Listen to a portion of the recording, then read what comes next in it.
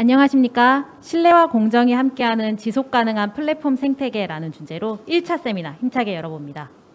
오늘의 1차 세미나 주제는 플랫폼 생태계 톱바보기입니다. 사회를 맡은 국민대학교 혁신기업 연구센터의 류푸름 연구원입니다. 플랫폼 생태계는 다양한 이해 관계자들이 존재합니다. 급부상한 디지털 경제 그리고 플랫폼 생태계는 어떻게 균형 잡힌 시각으로 바라볼 수 있을까요?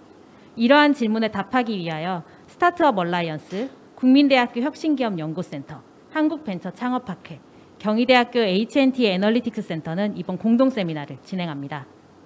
디지털 경제 아래에서 플랫폼 기업들의 성장 전략과 지속 가능한 생태계를 위해 필요한 것에 관한 논의의 장을 마련해 보았는데요. 이번 공동 세미나가 플랫폼 기업과 실무진, 그리고 소상공인과 연구진 모두가 함께 어우러져 지속 가능한 플랫폼 생태계의 발전 방향을 고민하는 출발점이 될 수 있기를 기원합니다. 오늘 세미나는 온라인 생중계로 만나보고 계실 텐데요. 현장에서 함께 참여해 주시는 발제자, 토론자를 비롯한 귀빈 소개는 각 식순에서 소개해 드리는 것으로 가름하겠습니다. 먼저 플랫폼 생태계를 톺아보는 논의의 장을 열어보겠습니다. 여는 말에 스타트업 얼라이언스 김도현 이사장님을 모셔보겠습니다. 준비되는 대로 시작해 주시면 감사하겠습니다. 예, 예 반갑습니다. 김도현입니다. 그 이렇게 그 오늘 날도 굉장히 춥고요. 또 오늘 그 확진자도 숫자가 그 역사를 찍었는데 다들 이렇게 모여주셔서 너무 감사합니다. 온라인으로 참여해주신 분들도 감사드리고 또 오프라인으로 이렇게 어렵게 잘해주신 분들 모두 굉장히 감사한 마음입니다. 어, 제가 오늘 발표될 자료들을 미리 살펴봤는데요. 굉장히 흥미로운 자료들이 많았습니다. 저희가 이 세미나를 하게 된 배경을 조금만 좀 말씀드리고 싶은데 어, 지금 이제 플랫폼이 이, 이 굉장히 많은 영역에서 산업의 중심으로 부상을 하고 있습니다. 근데 그 이제 플랫폼이 어떻게 이 생태계를 바꿔나가고 있는가, 또 플랫폼 참여자들에게 어떤 효익을 주고 있는가 이런 연구들은 충분하지는 않습니다. 그리고 또 최근 이제 정치 계절이 돌아오면서 플랫폼에 관련된 신뢰와 공정이라는 주제에 대한 담론들도 굉장히 많습니다. 너무나 중요한 주제이지만 막상 이 주제가 그 아카데믹한 영역에서 충분히 다루어지고 있는 것처럼 보이지는 않습니다. 어, 당위로서만 존재하고 실제로 이걸 우리가 어떻게 학술적으로 접근하고 아주 냉정한 관점에서 어떻게 살펴봐야 하는가 이런 것들에 대 한 논의가 충분하지는 않다는 아쉬움이 좀 있었는데 오늘 세미나는 그런 의미에서 어, 아젠다를 발굴하고 또 같이 이야기를 나누는 그런 장이 되기를 기대합니다. 다시 한번 어, 관심과 참여해 주신 모든 분들께 대단히 감사드리고 저도 흥미진진하게 지켜보도록 하겠습니다. 고맙습니다. 네, 감사합니다. 김도현 이사장님의 여는 말 잘 들었습니다. 그래서 오늘 이 세미나에서 모이신 분들과 다양한 논의를 해보고 의미 있는 한 걸음을 내딛어보는 이 순간이 더욱 중요한 것 같습니다.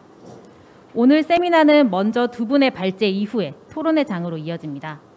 본격적인 토론에 앞서 특별 발제도 준비되어 있으니 식순에 참고 부탁드립니다. 그럼 이제부터 본격적으로 첫 번째 발제 듣는 시간을 가져보겠습니다. 플랫폼 기업의 비즈니스 모델과 성장 전략이라는 주제입니다. 세미나의 첫 장을 열어주실 김주희 국민대학교 혁신기업연구센터 연구본부장님 소개드리겠습니다. 준비되는 대로 시작해 주시면 감사하겠습니다.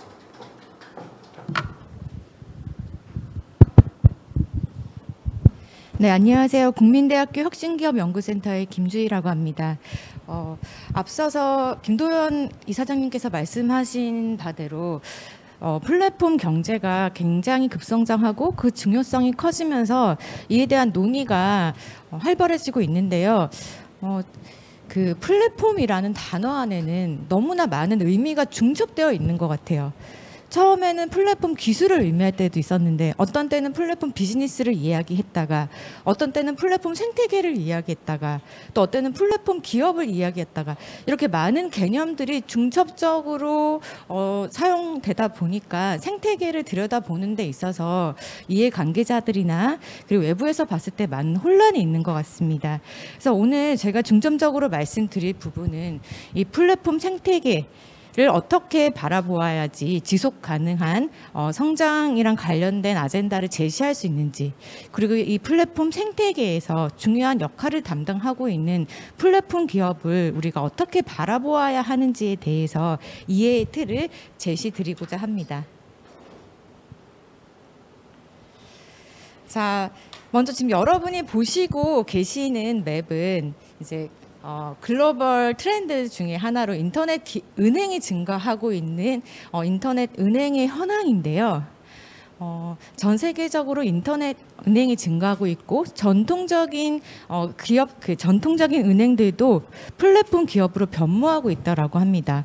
2019년부터 월스트리트가에 있는 JP 모건이라던가 골드만삭스 를 비롯한 여러 주요 은행들도 플랫폼 비즈니스 모델을 선보이면서 플랫폼 기업으로 변하고 있는데요.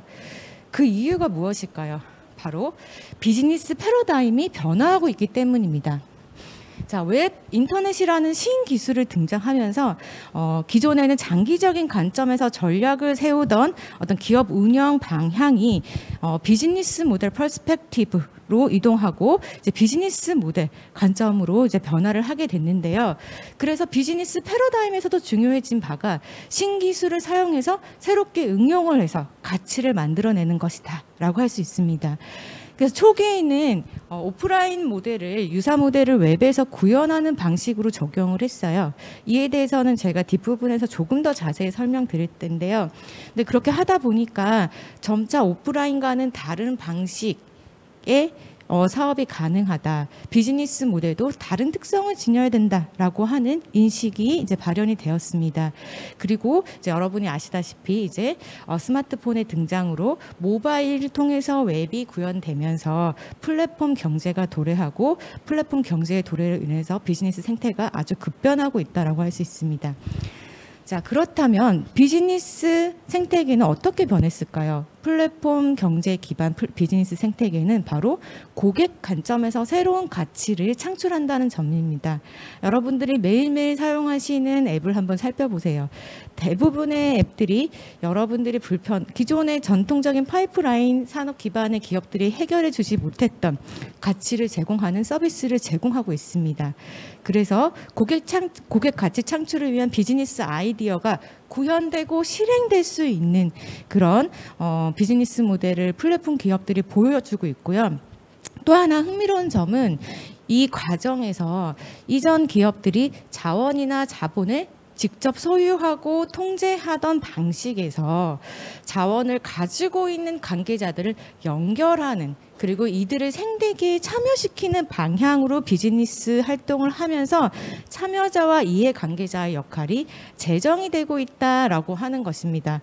이 과정에서 어, 이런 참여자나 이해관계자들이 어떠한 효익을 얻고 있는지 저희가 앞으로 조금 더 이제 학계에서도 좀 살펴봐야 봐- 보고 실증적으로 검증할 필요성이 있다고 지금 보고 있고요.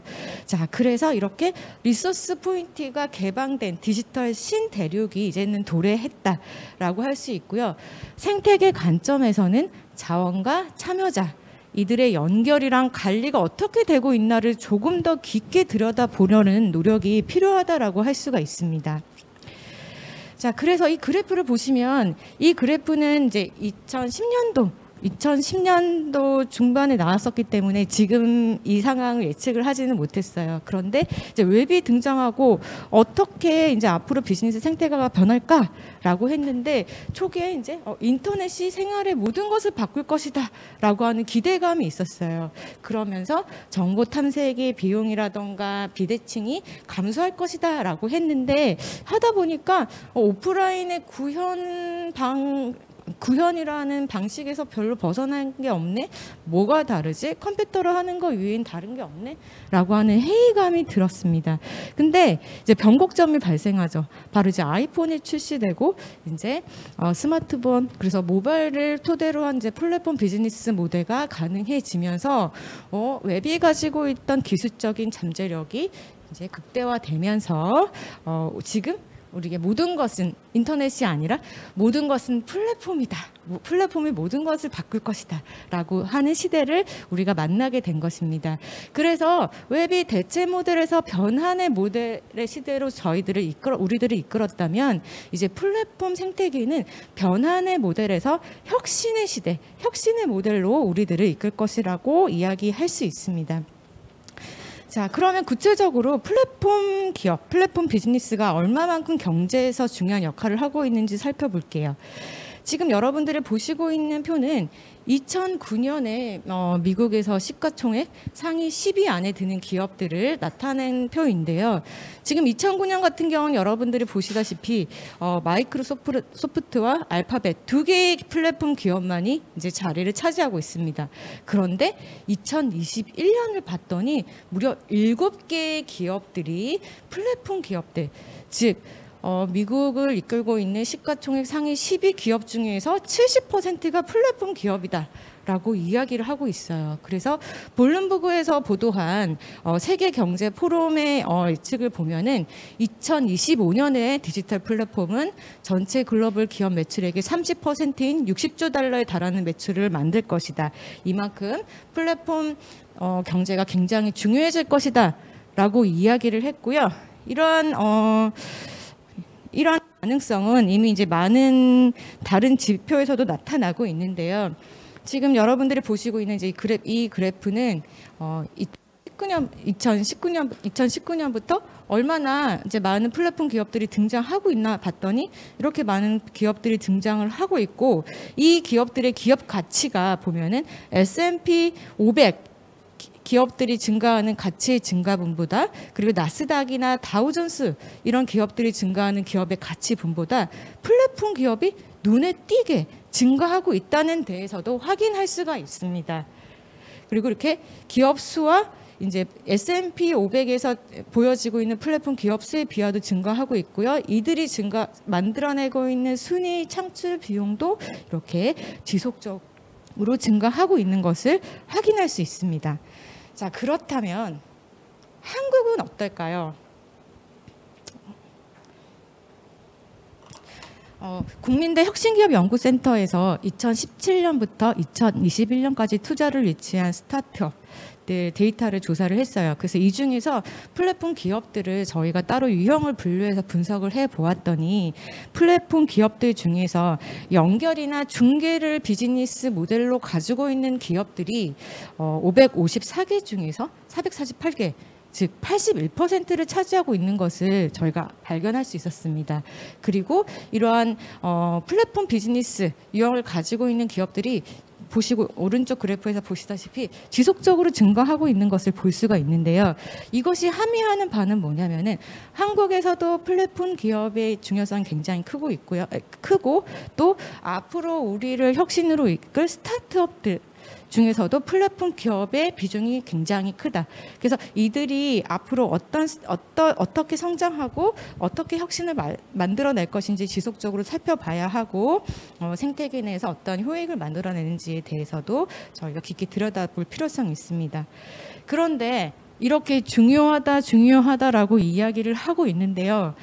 어, 문제는 플랫폼 기업들이 다 딜레마가 있어요. 어떤 딜레마가 있냐라고 보면은 지금 여러분들이 보시고 있는 이제 우버의 기업 가치를 한번 볼게요. 우버가 우버가 보면은 포드나 GM이나 크라이슬러를 모두 합친 기업 가치보다 기업 가치가 크거든요. 그런데 여기서 보면은 지금 공시자 우버가 이제 그 공개한 재무 자표를 보면은 여기에서 영업 이익이 무려 65억 달러. 에 달하고 있는 것을 알 수가 있습니다. 이게 무슨 말이냐면은 어, 운영을 할수록 손실이 나네? 기업 가치는 이렇게 큰데 도대체 이 괴리는 어디에서 온 거지? 그렇다면 기업은 어, 돈을 벌어야지 계속 지속적으로 투자도 하고 또 성장을 하고 참여자들한테 좋은 서비스를 제공할 수 있는데 어, 언제까지 이렇게 손실을 부담하면서 사업을 할 수 있을까 라고 하는 어, 이런 딜레마에 빠져 있는 상황이다라고 할 수 있습니다. 그러면 어, 이 딜레마가 어디에서 발생했는지를 살펴보기 위해서 플랫폼 기업이 가치를 만들어내는 방식에 대해서 한번 이야기를 해야 될 필요성이 있을 것 같아요. 어, 전통적인 파이프라인 기업 같은 경우는 자원을 어떻게 소유하고 통제하고 제품과 서비스를 만들어내는가 효율성에 기반해서 이 자원들을 가지고 이제 운영을 하고 이제 판매해서 이익을 만들죠. 플랫, 이 플랫폼 경제는 완전히 다른 방식이라고 할 수 있어요. 뭐냐면은 네트워크 효과를 빠르게 구축하고 확장시키는 것 이라고 할 수 있습니다. 그래서 처음에 어, 기본적으로 자원을 가 제가 아까 resource point라고 했는데요. 자원을 가지거나 그리고 또 자원을 이제 이용하는 참여자, 소비자를 연결을 하는데 이 연결점들이 많아지고 이들의 네트워크가 빠르게 확장될수록 이 생태계 내에서 가지는 만들어내는 가치가 커진다라고 할 수가 있어요. 조금 더 직관적으로 설명을 드릴게요. 자, 플랫폼 가치를 향상시키기 위해서 무엇이 필요한가? 자, 예시를 통해서 한번 볼게요. 여러분들 중에서 주차 서울 이렇게 복잡한 도시에서 주차하실 때 모두의 주차장이라고 하는 서비스를 이용해 보신 분들이 있으실 거예요. 네, 서울시 같은 경우는 서울 주차 정보도 똑같은 서비스를 이용을 하고 있거든요. 근데 흥미로운 점은 지금 보시면 아시겠지만 지금 리뷰하고 다운로드 수가 굉장히 차이가 많이 나요. 지금 모두의 주차장 같은 경우는 리뷰가 3, 어, 이렇게 돼 있고, 그리고 이제 별, 이게 그 5점 만점에 4.2점. 그리고 다운로드 수가 100만을 넘어섰습니다. 그런데 같은 서비스를 이용하는 서울 주차 정보는 어떨까요? 다운로드 수가 10만 밖에 안 돼요. 그리고 리뷰도 굉장히 안, 좋, 안 좋은 상황이거든요. 자, 왜냐하면은 우선 제가 앞서서 말씀드린 것처럼 모두의 주차장은 많은 사용자들이 다운을 받았기 때문에 어, 사용자 파트에서 네트워크 이펙트가 어느 정도 형성되어 있다라고 할 수 있습니다. 자, 그래서 많은 사용자가 들어오면서 이 플랫폼 안에서는 어떤 효과가 있냐고 하면은 지금 이제 단적으로 보여주는 것들이 지금 여러 여기에 지금 업데이트 횟수가 있거든요. 그런데 2020 제가 이제 이걸 전체를 볼 수는 없었어요. 이게 데이터 공개의 제한으로 인해서 2021년 5월부터 이제 12월까지를 보면은 무려 이렇게 지금 여러분들 쭉 보시는 것처럼 하나, 둘, 셋, 넷, 다섯, 여섯, 일곱, 여덟, 아홉, 열, 열세 번인가요? 열세 번이 있었거든요. 그런데 지금 보면은 서울 주차 정보는 2021년 보면은 딱 두 번 있어요. 그것도 보면 이제 정해진 기간을 딱 정해서 하고 있는 걸 알 수가 있어요. 자, 사용자도 별로 없고 그 다음에 아, 우선은 첫 번째 사용자가 많이 구축되어 있, 지 않았기 때문에 네트워크 이펙트가 약하게 형성되어 있기 때문에 어떤 점을 개선해야 되는지에 대한 서비스 개선점에 대한 정보, 시장 정보, 소비자 정보가 충분히 축적되지 않았다라고 할 수 있습니다. 그래서 이제 모두의 주차장 같은 경우는 이제 네트워크를 확장시킴으로 인해서 이런 정보를 축적하고 소비자 관점에서 어떤 서비스를 원하는지 충분히 알 수 있는 기회가 있었기 때문에 이렇게 업데이트를 통해서 불편한 점을 해소했다라고 할 수 있고요. 또 하나 두 번째 우리가 주목해야 되는 점은 이렇게 네트워크 효과를 기반으로 정보라던가 지식을 플랫폼 기업이 축적하게 됐을 때 플랫폼 생태계를 구축하는 플랫폼 디자인을 보다 효율적으로 만들 수 있다는 거예요. 그래서 여기서 보면은 이제 뭐 뭐가 불편해서 어떻게 어떻게 되었는데 이런 점 개선해 주세요라고 했을 때 굉장히 상세하게 어, 회의를 프로 정보 업데이트 프로세스 개선에 대해서 회의를 진행하고 어떻게 하겠습니다라고 했어요. 이런 업데이트를 통해서 디자인이 플랫폼 디자인이 보다 효율적으로 이제 설계를 되고 설계가 되고 향상된다라고 할 수 있습니다. 이러한 방식으로 플랫폼 플랫폼 기업의 가치가 향상된다고 할 수 있거든요. 그래서 먼저 플랫폼 기업이 주목하는 점은 바로 네트워크 확장을 위한 이제 플랫폼의 좋은 어, 디자인 그리고 많은 참여자들의 흡입 이라고 할 수 있겠죠. 그래서 이렇게 네트워크 효과를 발생시킬 만큼 이제 참여자들을 충분히 가지게 되면 그 다음에 이제 고민하는 게 자 어떻게 수익 모델을 만들까라고 하는 고민을 하게 됩니다. 자, 전통적인 파이프라인 industry에 있는 기업과 달리 플랫폼 비즈니스를 가진 기업들은 이제 어, 처음부터 어, 모든 계획을 세우고 돈을 어떻게 만들겠다라고 하는 게 아니라 이러한 이렇게 네트워크 효과를 기반으로 네트워크 효과를 발현시킬 수 있을 때 효율적인 방법의 비즈니스 수익 모델을 고민하게 되는데요. 어, 크게 어, 우리가 여섯 가지로 나눠서 살펴보고 있습니다. 살펴볼 수 있습니다. 우선은 이제 우리가 중개 수수료라고 흔히 부르는 거죠. 참여자들 양 쪽을 연결함으로 인해서 받는 수수료고요. 두 번째는 많은 참여자가 있기 때문에 이 중에서 타겟 광고를 원하는 이제 스폰서를 어, 참여를 시켜서 받는 광고비 모델이 있고요. 하나는 freemium이라고 해서 일부는 무료, 자 그리고 더 좋은 프리미엄 서비스를 원하는 사, 용자한테는 이제 과금을 하는 freemium 모델이 있습니다. 그리고 이제 오픈 갤러리와 같이 어떤 서비스를 이용하면서 월간 구독료를 받는 이런 수익 모델이 있고요. 또 이제 licensing을 통해서 사용한 만큼 비용을 지불받는 모델도 있습니다. 그리고 또 하나는 이제 아이템 등을 통해서 어, 수익을 창출하는 아이템 판매 모델. 이렇게 이제 수익 모델이 나누는, 나오는데요. 자, 여기서 우리가 계속 좀 주의해서 비즈니스 그 플랫폼 기업의 비즈니스 수익 모델을 살펴봐야 할 점은 뭐냐면은 비즈 플랫폼 기업들은 처음부터 이걸 완벽하게 설계를 할 수 없다는 거예요.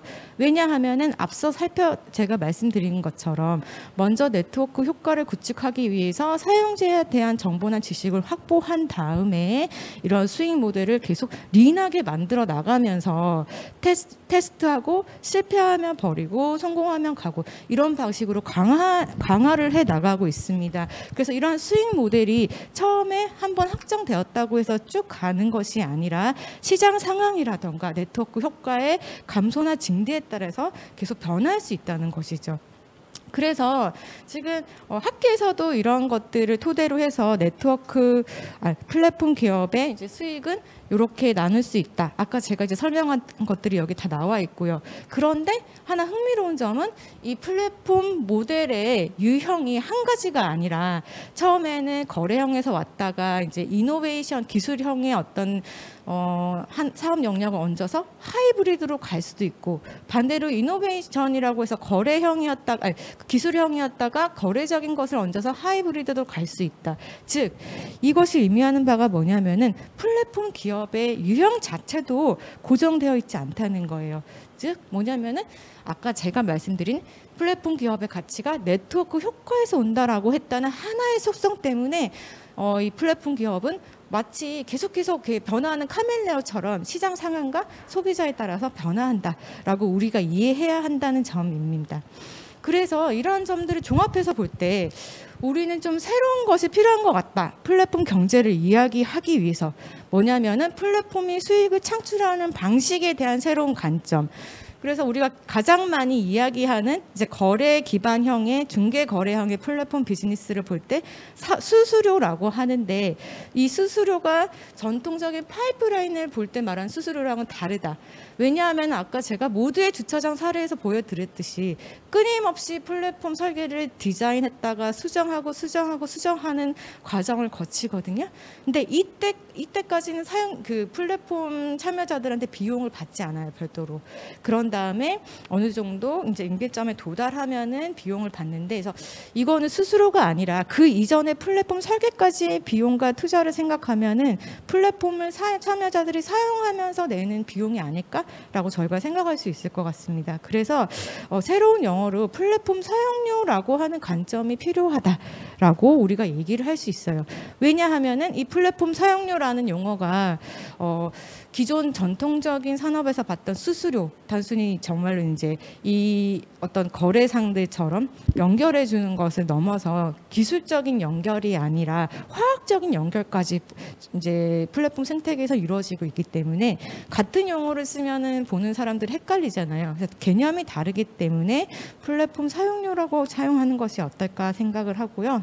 또 하나는 플- 제가 앞서 설명드렸듯이 플랫폼 설계는 어느 날 갑자기 나타난 것이 아닙니다. 사실은 어, 여러분들이 이제 알만한 스타트업이라던가 기업의 플랫폼 비즈니스 모델은 이미 성장한 다음에 여러분들이 접하는 것이거든요. 그 전에 굉장히 많은 실험과 실패와 성공의 토대로 만들어졌어요. 그래서 그 생태계를 조성할 때까지는 어, 투자가 필요하다 라고 하는 거 그리고 아까 모델 주차장 예시에서 제가 말씀드린 것처럼 어, 플랫폼 생태계에서 가장 중요한 것은 단순하게 많은 사람들을 어떻게 연결한다는 게 아니라 어떻게 보면 많은 사람들을 연결하려면 연결의 기술이 중요하다는 것이죠. 그래서 우리는 플랫폼 기업들의 연결의 기술, 연결의 기술을 구축하고 이 연결의 기술을 잘한 기업들은 어떠한 과정을 거치고 어떻게 투자를 했나에 대해서 이해가 필요하다라고 할 수 있습니다. 자, 그래서 에어비앤비 같은 경우도 간략하게 말씀드리면은 에어비앤비를 모르는 분들은 없잖아요. 대부분 다 그냥 호스트하고 이제 다 연결해 주는 거예요라고 하지만 자, 투자를 유치하기까지 에어비앤비가 얼마나 많은 노력을 했냐면은 그 플랫폼 디자인을 위해서 어, 이, 이 이전에 왜 사람들이 일대일로 어떻게 소개를 받은 민박집이나 관심이 없을까라고 했을 때 잘 이렇게 멋져 보이는 사진이 없는 거예요 숙소에 대해서. 저기 불안감이 있잖아요 우리가 리스크가 있는데 그 이 리스크를 어떻게 해소해 줄 수 있을까라고 해서 게- 회의를 굉장히 많이 거쳐서 이거를 이제 프로 디자이너 그 프로 사진사를 고용을 합니다. 프리랜서 사진사를 네, 고quality에. 그런데 그냥 설계를 이렇게 사진사를 해서 올려 보니까 이 플랫폼상에서 멋지게 보이지 않는. 그래서 어떻게 멋지게 보일까라고 해서 이 기술 담당자랑 굉장히 논의를 많이 합니다. 그러니까 이렇게 지금 단적으로 말씀드린 예처럼 플랫폼 기업이 고민해야 할 것들은 참여자의 불안을 어떻게 해소하는 디자인을 할 것인가라고 볼 수가 있- 있을 거예요. 단순히 들어와서 뭘 선택하는 것이 아니라 이 선택하기까지 보이지 않는 리스크와 불안, 정보 비대칭을 해소할 수 있는 이런 것들을 잘 설계했을 때 비즈니스 모델이 잘 구축이 되었다라고 우리는 얘기를 할 수가 있죠. 자, 지금 그래서 카카오 같은 경우에도 여러분들 자 국민 메시징 서비스인데요. 굉장히 많은 고민을 하면서 성장해 왔죠. 사용자는 제가 말씀드린 것처럼 딜레마가 있잖아요. 사용자는 많은데 돈은 어떻게 벌까? 계속 손해를 보면서 서비스를 제공하는 것이 가능할까라고 하는 것이죠. 그런데 지금 중간에 보면 출시하고 가입자가 이제 돌파하고 돌파하고 돌파할 때마다 비즈니스 모델을 조금씩 어, 혁신적으로 변화한 것을 볼 수가 있습니다. 그래서 앞서 말씀드린 것처럼 플랫폼 기업은 굉장히 동적인 존재 라고 할 수 있고요. 저희가 이 점에 대해서 충분히 이해를 해야 될 것 같아요. 그리고 또 하나는 플랫폼 기업이 몸을 담고 있는 인- 산업 자체도 사실은 이제 플랫폼 경제가 돌아, 도래하면서 이 경계가 굉장히 많이 깨지고 있거든요. 왜냐하면 이 플랫폼이라는 기술적 메커니즘이 참여자들, 리소스를 가지고 있는 사람들을 연결을 하고요. 이 연결을 하면서 정보랑 지식이 또 생태계 내에서 구축이 되기 때문에 처음에는 1단계에서 그냥 그 핵심 서비스를 기반으로 한 플랫폼이 형성이 되었다면 그 다음에는 이제 이 산업 가치 사실상에 연결된 참여자들끼리 또 플랫폼화되는 그 전체가 이 하나의 산업이 이제 플랫폼이 되는 산업 플랫폼이 형성되는 방식으로 진화를 한다라고 볼 수가 있어요. 그렇게 하다 보니까 플랫폼 생태계에서는 누가 언제 나의 경쟁자가 된다거나 또 어떤 기업이 갑자기 생뚱맞은 서비스를 제공한다거나 하는 것이 굉장히 예측 불가능하게 되고요.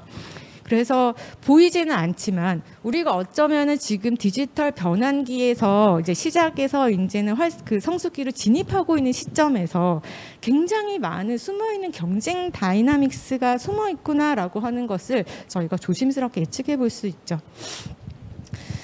자, 그리고 또 하나 생각해야 되는 것은 뭐냐면요. 그 플랫폼 생태계와 관련해서 이제 우리나라가 나아가야 할 방향인데요. 지금 계속 아까 이제 김도현 이사장님께서 말씀하셨다시피 이제 플랫폼 관련해서 많은 이슈가 국내에서 만들어지고 있는데 국내 플랫폼 생태계를 이제 국내 몇 개의 기업으로 국한해서 봤을 때 우리가 조심해야 될 거는 어 글로벌 이코노미가 플랫폼 기반의 경제로 전환되고 있는 시점에서 한국 플랫폼 기업의 경쟁력은 과연 어느 정도지? 라고 하는 질문을 한번 던질 수 있다라고 생각합니다.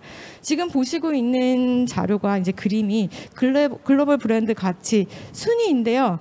보면은 어, 우리가 일상에서 많이 사용하는 글로벌 플랫폼 기업은 있지만 한국 기업은 없어요. 그런데 굉장히 또 아이러니한 거는 한국처럼 이렇게 네이버라든지 카카오라고 하는 모든 국민이 쓰고 있는 메시징 서비스라든가 검색 서비스가 있는 국가가 흔하지 않거든요.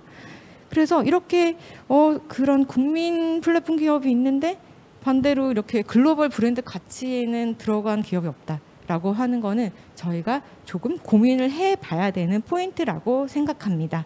그래서 지금 이제 앞- 앞서 말씀드린 것처럼 글로벌 플랫폼 기업의 글로벌 분포를 보면요. 거의 이제 미국이 차지 많이 하고 있고요. 이제 한국도 이제 많이 좀 키워야 나, 나가지 않을까 하는 어, 고민을 좀 해봐야 될 필요성이 있습니다. 그래서 이제 정리를 하면 플랫폼 경제에서 어, 다섯 가지 어, 규칙이 있다라고 한다면은 하나는 이제 플랫폼 경제는 시장을 마찰하는 마법을 가지고 있다. 시장의 마찰을 해결하는 그것은 연결이고요. 그 연결의 기술을 위해서 혁신과 비용이 존재한다는 것. 그리고 선택의 주체는 플랫폼 하나만의가 플랫폼 하나만의 일방적인 당, 그 참여자가 아니라 반대편에서 서비스를 제공하는 어, 서비스와 제품의 제공자이기도 하고 또 하나는 사용자이기도 하라고 한다는 거죠. 그래서 이런 것들 참여자들이 모두 자유적으로 선택할 수 있다라고 하는 점에도 주목을 좀 해야 된다는 거고 이러한 플랫폼들을 키워 나가기 위해서는 우선 이 메커니즘에 대해서 조금 더 이해를 한다는 것 그리고 시장과 비즈니스 모델이 진화를 한다라고 하시, 하는 것입니다. 그래서 지금 플랫폼 생태계가 이제 성장기에서 이제 조금 더 발전을 했으면 좋겠는데요. 어, 생태계에 대해서 조금 더 딥하게 제가 앞서 말씀드린 것처럼 개념들을 중첩해서 이해하고 사용하는 것이 아니라 쪼개서 이해하는 것 그리고 참여자들끼리 서로 이해하는 것 또 신뢰와 공정을 바탕으로 해서 지속적인 논의가 어, 이루어졌으면 좋겠습니다. 네, 감사합니다. 네, 감사합니다. 경영학적 관점에 있어서 반드시 고려해야 하는 비즈니스 모델과 성장 전략에 대한 담론, 그리고 플랫폼 사용료라는 개념 제시해 주셨습니다. 두 번째 발제는 경제학적 논의를 다뤄보려고 합니다. 플랫폼 사용료에 대한 경제학적 분석이라는 주제로 이화령 KDI 플랫폼 경제연구팀 연구위원님 발제 들어보겠습니다. 박수로 맞이해 주세요. 네. 네, 안녕하세요. 저는 KDI 이화령입니다. 방금 어, 김주일 박사님께서 굉장히 전반적으로 아주 잘 정리를 해주셨고 이 플랫폼 사용료라는 키워드에 대해서 어, 굉장히 저는 좋은 아이디어라고 생각을 하고 있고요. 예, 수수료보다 훨씬 넓은 의미를 담을 수가 있고 저도 이 키워드에 굉장히 동의하는 바라서 김주희 본부장님이 주신 이 키워드를 그대로 사용했습니다. 다만 이제 저는 경작자로서 이제 플랫폼 사용료에 대해서 경작적으로서는 어떤 식으로 분석을 하는지 그런 일반적인 프레임워크를 좀 소개를 드리고자 하고 그리고 경쟁 정책이라든지 규제적인 측면에서는 경제학에서 생각하는 어, 접근 방식이 어떤 것인지 그런 것을 말씀드리고자 합니다. 일단 어, 플랫폼이라는 거는 경제학에서는 양면 시장이라고 불리우는데요. 왜냐하면은 플랫폼을 사이에 두고 어, 서로 구분되는 면의 이용자들이 어, 존재하기 때문입니다. 예를 들어 아마존 마켓플레이스 같은 경우에는 seller가 있고 바이어가 있고 seller와 바이어라는 이런 구분되는 이용자들이 있고 여기서 또 특징이 되는 것은 이 둘이 그냥 따로따로 존재하는 것이 아니라 수- 둘이 플랫폼을 통해서 인터랙션을 하고 거기서 가치가 창출된다는 것입니다. 그게 어, 한 20년 전에 플랫폼에 대한 경제학적 분석이 시작됐을 때 가장 핵심적으로 어, 플랫폼의 특성으로 논의가 되었던 것이고 이제 양면 시장으로 출발했지만 지금은 굉장히 많은 면의 시장을 가지고 있는 플랫폼들이 많이 등장하고 있습니다. 이때 플랫폼의 수익 모델은 아까 어, 김주희 박사님께서 말씀하셨듯이 어, 플랫폼에 대한 접근에 대해서 가격을 부과하는데 여기에 대해서 다만 수수료라고 할 것이 아니라 플랫폼은 마케팅의 어떤 tool을 제공하기도 하고 그리고 굉장히 중요한 신뢰 형성 체계. 신뢰라는 거는 디지털 세계에서는 더욱 중요해지는데요. 이 신뢰 형성 체계를 어, 제공하는 거. 예를 들어 리뷰 시스템이라든지 아니면 signaling, screening 이런 시스템을 제공하는 식으로 이런 부가 서비스를 제공하는 이런 모든 거에 대해서 통합적으로 가격을 부과하게 됩니다. 이때 어 하지만 이제 경제학적으로 좀 더 심플하게 수수료라고 생각을 해서 분석을 해보자면은 가장 간단한 모형으로는 거래당 중개 수수료가 있을 것이고요. 그 외에도 뭐 구독 모형, 광고 모형 아니면 이런 거에 좀 하이브리드 모형 이런 다양한 비즈니스 모델이 존재를 합니다. 하지만 좀 그 굉장히 단순화해서 거래당 수수료 모형처럼 생각을 해보시면 일단 어, 일반적으로 전통적으로 기업의 이윤 극대화를 분석을 할 때는 가격 수준에 대해서 계산을 하게 됩니다. 어떤 가격 수준을 했을 때 가장 이윤이 극대화될 것인가. 그랬을 때 여기 플랫폼에서 가격 수준이란 건 이 둘이 만나 서로 다른 이용자 계층이 만나게 돼서 인터랙션이 일어나는 게 상품이기 때문에 그 상품에 대한 가격, 그러니까 양면의 가격 총합을 보통 가격 수준이라고 정하게 됩니다. 그러니까 판매자가 플랫폼에 주는 어, 수수료 그리고 구매자가 플랫폼에 주는 수수료 이 두 가지를 다 합쳐서 가격 수준이라고 생각을 할 수가 있는 것인데 어, 이때 플랫폼 이면 어, 양면 시장의 경우에는 가격 구조도 굉장히 중요하게 됩니다. 이 판매자 구모, 구매자가 서로 영향을 미치지 않는 서로 뭐 간접 네트워크 효과도 없고 서, 뭐 판매자가 많아질수록 구매자도 더 효용이 높아지고 구매자가 많아질수록 판매자도 어, 효용이 높아지는 이런 식의 네트워크 효과가 없다면은 사실 가격 구조는 따로따로 가게 되는데 여기서는 서로 연결이 되어 있기 때문에 가격 구조도 중요하게 됩니다. 여기서 가격 구조를 하는 것은 이 판매자가 플랫폼한테 주는 P1 그리고 구매자가 플랫폼에 주는 P2 이거 두 개 사이의 비율 양면의 상대 가격이라는 것도 중요하게 된다는 것입니다. 이걸 경제학적으로는 가격 구조의 비중립성이라고 표현을 합니다. 이때 어, 플랫폼의 문제는 바로 chicken and egg problem이라고 어, 묘사가 되는데요. 양면을 모두 참여시켜야 하는 문제가 있습니다. 이때 어, 그런 양면을 모두 이 플랫폼에 참여시키기 위해서 플랫폼이 할 수 있는 거는 가장 기본적으로는 당연히 자신의 기본적인 역할을 잘 하는 거겠죠. 상품의 품질을 강화하는 거. 그게 바로 검색이나 매칭을 효율화하고 어, 그런 식의 어, 플랫폼의 자체 강, 경쟁력을 강화하는 것도 있겠지만 그건 기본으로 두고 전통 산업에서도 마찬가지니까 어, 플러스 가격 구조가 굉장히 큰 영향을 미치게 됩니다. 똑같이 P1 플러스 P2가 10달러라고 해도 어, 5달러, 5달러를 어, 부과할 것인가 또는 0달러, 10달러를 부과할 것인가 이런 가격 구조에 따라서 어, 그 가격 수준 조- 전반적인 가격 수준은 같다고 하더라도 가격 구조에 따라서 거래량의 차이가 되고 이것이 바로 플랫폼의 굉장히 어, 특징적인 면이라고 할 수가 있습니다. 그래서 우리가 어, 티피컬리 보게 되는 것은 비대칭적 가격 구조인데요. 그러니까 구매자한테 받는 수수료랑 판매자한테 받는 수수료가 서로 다르게 되는 거죠. 예를 들어서 말씀을 드려보겠습니다. 플랫폼이 예를 들어 뭐 부킹닷컴이라든지 호텔스닷컴이라든지 이런 플랫폼이 입점 업체 호텔들이랑 소비자들 게스트를 양면에 둔 플랫폼이라고 생각을 해볼 수가 있겠습니다. 이럴 때 대체로 우리가 보듯이 이제 소비자가 업체들보다 가격에 민감합니다. 가격에 탄력적일 경우에는 그러면은 입점 업체한테 더 가격을 많이 부과하는 게 나을까? 아니면 소비자들한테 가격을 더 많이 부과하는 게 나을까? 이것이 바로 플랫폼이 결정해야 하는 가격 구조인데요. 이럴 때 어느 면의 이용자에게 가격을 부과할 것인가를 먼저 결정하고 다음으로 어느 수준의 가격을 부과할 것인가 이렇게 나누어서 생각을 해볼 수가 있습니다. 일단 어느 면의 이용자에게 가격을 부과할 것인가 할 때 소비자들이 민감하니까 일단 소비자들을 무료 서비스로 끌어 플랫폼에 참여하도록 끌어오는 것으로 출발을 이제 하게 되고요. 업체들은 어, 대신 이제 거기서 나오는 손실은 업체들한테 매기게 되는 거죠. 근데 이게 무슨 비정상적인 비즈니스 형태냐? 그게 전혀 아니고 플랫폼의 굉장히 자연스러운 이윤 극대화에서 나오게 되는 것입니다.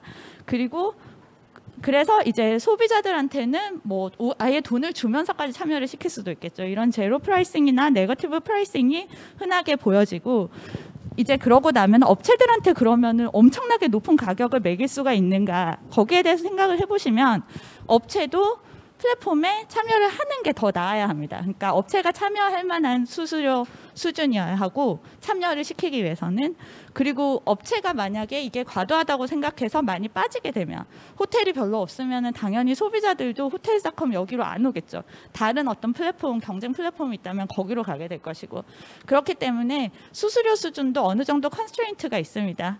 업체가 참여할 만한 수준이어야 하고 이 소비자와의 이 피드백 loop을 생각해서 어, 적당한 수준의 가격이 정해지게 됩니다. 이런 식의 크로, 어, 이런 식의 가격 구조를 cross-subsidization이라고 하는데요. 예, 한 면한테는 무료로 주고 뭐 돈을 주고 보조금까지 지급하지만 다른 쪽에서 수익을 대체로 올리는 거. 이런 한 면의 어, 이런 식의 cross-subsidization은 사실 우리가 일상적으로 굉장히 많이 보게 되는 어, 비즈니스 모델인데요. 예를 들어 구글 같은 경우에 광고 업체에서 수수료를 많이 받는 대신 소비자들에게 무료 서비스를 주고 아마존도 판매자에게 주로 수수료를 부과하게 되고 앱스토어 같은 경우에는 앱 개발자에게 뭐 30% 정도의 수수료를 부과한다든지. 하지만 수, 소비자에게 무료 서비스. 그리고 뭐 진짜 전통적으로 나이트클럽에 뭐 남자들은 돈을 많이 내지만 여자들은 오히려 돈을 받으면서 온다. 뭐 이런 굉장히 전통적인 예시도 있고요. 이런 식으로 어, 플랫폼은 굉장히 일반적으로 말하자면 이게 여러 가지 모델상의 다른 어, 파라미터에 따라 달라질 수가 있지만 일반적으로는 플랫폼은 가격에 민감하거나 아니면은 이 사이드를 플랫폼에 참여시키는 게 전반 이 거래 가치 측면, 가치 창출 측면에서 굉장히 중요할 경우 또는 싱글 호밍을 하는 그러니까 하나 하나 플랫폼 정해서 여기만 이용하는 성향 이런 이용자들 측에 보조금을 지급하고 이쪽에 페이버를 주는 이런 식의 가격 구조가 어 그냥 이상한 가격 구조가 아니라 어 이윤 극대화를 시키는 정상적인 가격 구조가 됩니다. 이때 어, 이게 이제 가장 기본적인 경제학적 프레임워크라면요. 이것과 관련해서 이제 경쟁 정책적이라든지 규제 측면에서 쟁점이 많이 일어나고 있는데 대체로 소비자를 대상으로 해서는 제, 소비자에게 대체로는 어, 무료 서비스가 굉장히 많다 보니까 이 무료 서비스가 상당히 골치가 아픕니다. 왜냐하면 경쟁법 집행에 있어서는 가격은 키 파라미터기 때문에 가격이 올라갈까 내려갈까 이게 굉장히 중요한 거고 가격이 코스트보다 높냐 낮냐 이게 굉장히 중요해지는데 무료 서비스고 아니면 오히려 돈을 주기 때문에 경쟁법 집행이 굉장히 어려워집니다. 이런 부분이 있고 다음으로는 어, 대체로 입점업체 또는 광고업체를 대상으로 해서 많이 나오고 있는 얘기가 수수료가 너무 과도하다. 뭐 30% 커미션 너무하지 않냐. 자기가 연결밖에 안 해주면서 뭐 이런 식의 말이 이제 많이 나오게 있는 건데 어, 이런 과도한 수수료에 대한 규율 논의는 어, 사실 어, 뭐 다른 나라에서도 상당히 많이 제기가 되고 있고 우리나라에서도 최근에 뭐 배달앱이라든지 어, 앱스토어라든지 굉장히 다양하게 제기가 되고 있는 것 같습니다. 이건 사실 거래에서 창출되는 부가가치가 있는데 이걸 어떻게 나눠 가질 것인가 이것과 상관이 있는데요. 그리고 너무 과도 실제로 만약 수수료가 너무 과도하다면 입점업체 입장에서도 자기들 이익을 보전하기 위해서 자기 프로덕트나 서비스의 가격을 높일 수밖에 없기 때문에 소비자도 지금 보기에는 이익을 보는 것 같지만 결국 피해를 입을 것이다. 이런 식의 논리로 어 이제 수수료가 과도할 경우 규율이 필요하다는 어 얘기가 나오게 됩니다. 어, 여기는 이제 수수료 수준을 대략적으로 보여드리려고 넣은 건데요. 어, 테이블 1 같은 경우 앱스토어의 경우에는 30% 정도가 굉장히 많이 발견이 되고 있고 어, 테이블 4 보시면은 뭐 다양한 뭐 retail store라든지 retail 플랫폼이라든지 travel 플랫폼이라든지 다양한 곳에서 어, 다양한 수준의 어, 커미션 rates를 볼 수가 있습니다. 그래서 이제 규제적으로 생각을 해보자면 수수료에 대해 다양한 접근 방식이 있을 수 있지만 크게 두 가지로 나눌 수 있는데요. 제가 어, 여기서 쟁점이 이렇게 두 가지가 있다고 했는데 이 무료 서비스에 대한 경쟁법 집행은 또 그것만의 area가 있기 때문에 저는 오늘은 이제 이 다음 거 과도한 수수료에 대한 규율 이 부분에 좀더 어, 초점을 맞춰서 말씀을 드리고자 합니다. 여기에 관해서 두 가지 규제적 접근이 있는데 사정 규제와 사후 규제입니다. 크게 나눠보자면 그래서 사정 규제 같은 경우면 어, 수수료에 캡을 씌우는 겁니다. 이 이상은 받지 마라. 이렇게 가격 상한을 설정하고 어느 정도 마진까지만 인정을 해주겠다. 너무 많이 받으면 이건 과도하다고 판단하겠다. 이렇게 사전적으로 결정을 하는 겁니다. 이거 같은 경우에 사실 전통적인 어, 철도 산업이라든지 통신 산업에서 굉장히 많이 발견되는 식의 규제인데요. 이런 규제 레셔나를 좀 보자면 어, 좀 자연 독점적인 성격이 강하고 그리고 초기 투자 비용이 굉장히 많이 드는데 거기에 정부가 좀 많이 도움을 줍니다. 초기 투자에 철도 까는데 뭐 이런 거 그리고 또는 뭐 통신에 대한 그그 주파수를 나눠준다든지 뭐 이런 식으로 그러니까 정부가 좀 관여하는 부분이 있고요. 공급 측면에서 cost level을 결정하는데 그런 식의 어떤 연유건 그래서 규모의 경제가 일어나게 되거나 자연 독점적인 상황이 벌어지게 되고 이랬을 때 어, 뭔가 과도한 이익을 얻게 되면 독점 상황에서 그러면 당연히 가격이 높은 것 자체의 피해도 있지만 또 다른 거는 이제 이 이익을 가지고 반 경쟁적인 행위를 할 수 있다는 겁니다. 자기 경쟁력을 다른 market으로 이전을 시키려고 한다든지 또는 강화를 시키려고 한다든지 이런 행위도 가능하고 또는 요새 나오는 걸로는 political 그 politically 이렇게 로비를 통해서 굉장히 영향력을 미치려고 하는 이런 경쟁 제한 행위가 가능하다. 여기에 대한 우려도 있습니다. 그리고 또 하나는 이런 플랫폼 서비스가 gatekeeper라서 사실상 필수 설비다. 이거 없이는 어, 시장에 진입이 불가능하다.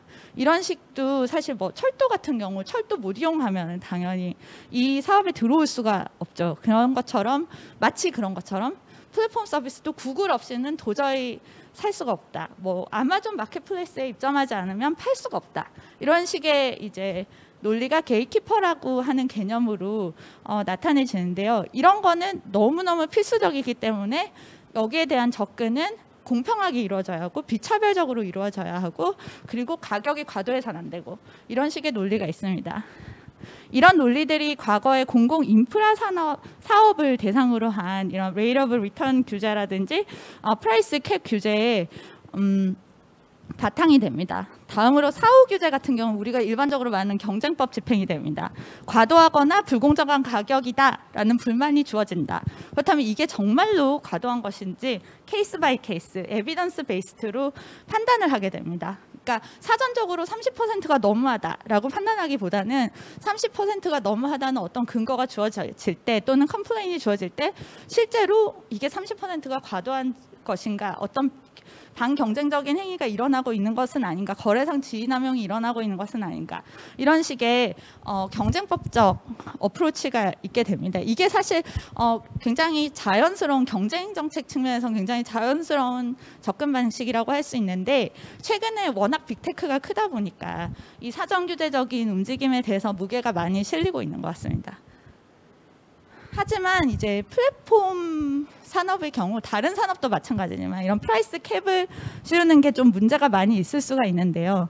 뭐 기본적으로는 정부 개입을 했을 때 시장 결과가 물론 완벽하지 않을 수 있지만 그 완벽하지 않다고 해도 그거보다 나을까 정부가 개입을 했는데 거기에 대해서 당연히 의문이 갈 수밖에 없는 것은 적절한 가격 수준을 정말 정부가 정할 수가 있는가 이거는 정말 생각을 하기가 어렵죠. 사실 아까 그 김조희 박사님도 굉장히 자세히 말했지만 투자가 굉장히 많이 들어가 있습니다.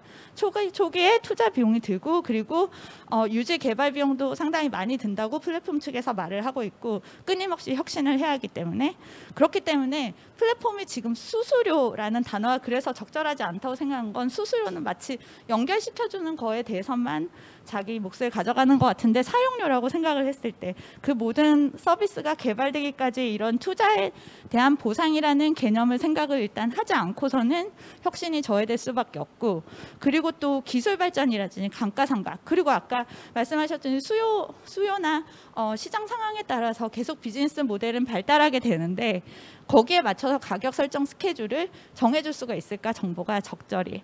이제 그런 부분에서 굉장히 논란이 많을 수 있고 그리고 집행도 사실 어렵습니다. 빅테크 옛날에 철도 같은 경우 뭐 우리나라 안에서 다 하는 거니까 어, 이런 관할 지역이 굉장히 분명했는데 지금 같은 경우에는 굉장히 글로벌 서비스고 그렇기 때문에 이걸 모두 관할할 수 있는 뭔가 이 초국가적인 regulator라는 게 생기기가 어렵고요. 그렇기 때문에 자연스럽게 규제, 국가별 규제 차익이 생길 수밖에 없는데 우리나라에서 규제 수준을 높이면 다른 나라로 가게 된다든지 이런 식으로 국가별 규제 차익 에 대해서 플랫폼이 얼마든지 전략적으로 대응이 가능할 수 있기 때문에 어, 사실 이게 집행이 어렵고 실효성이 떨어질 수 있다라는 얘기가 나오게 됩니다.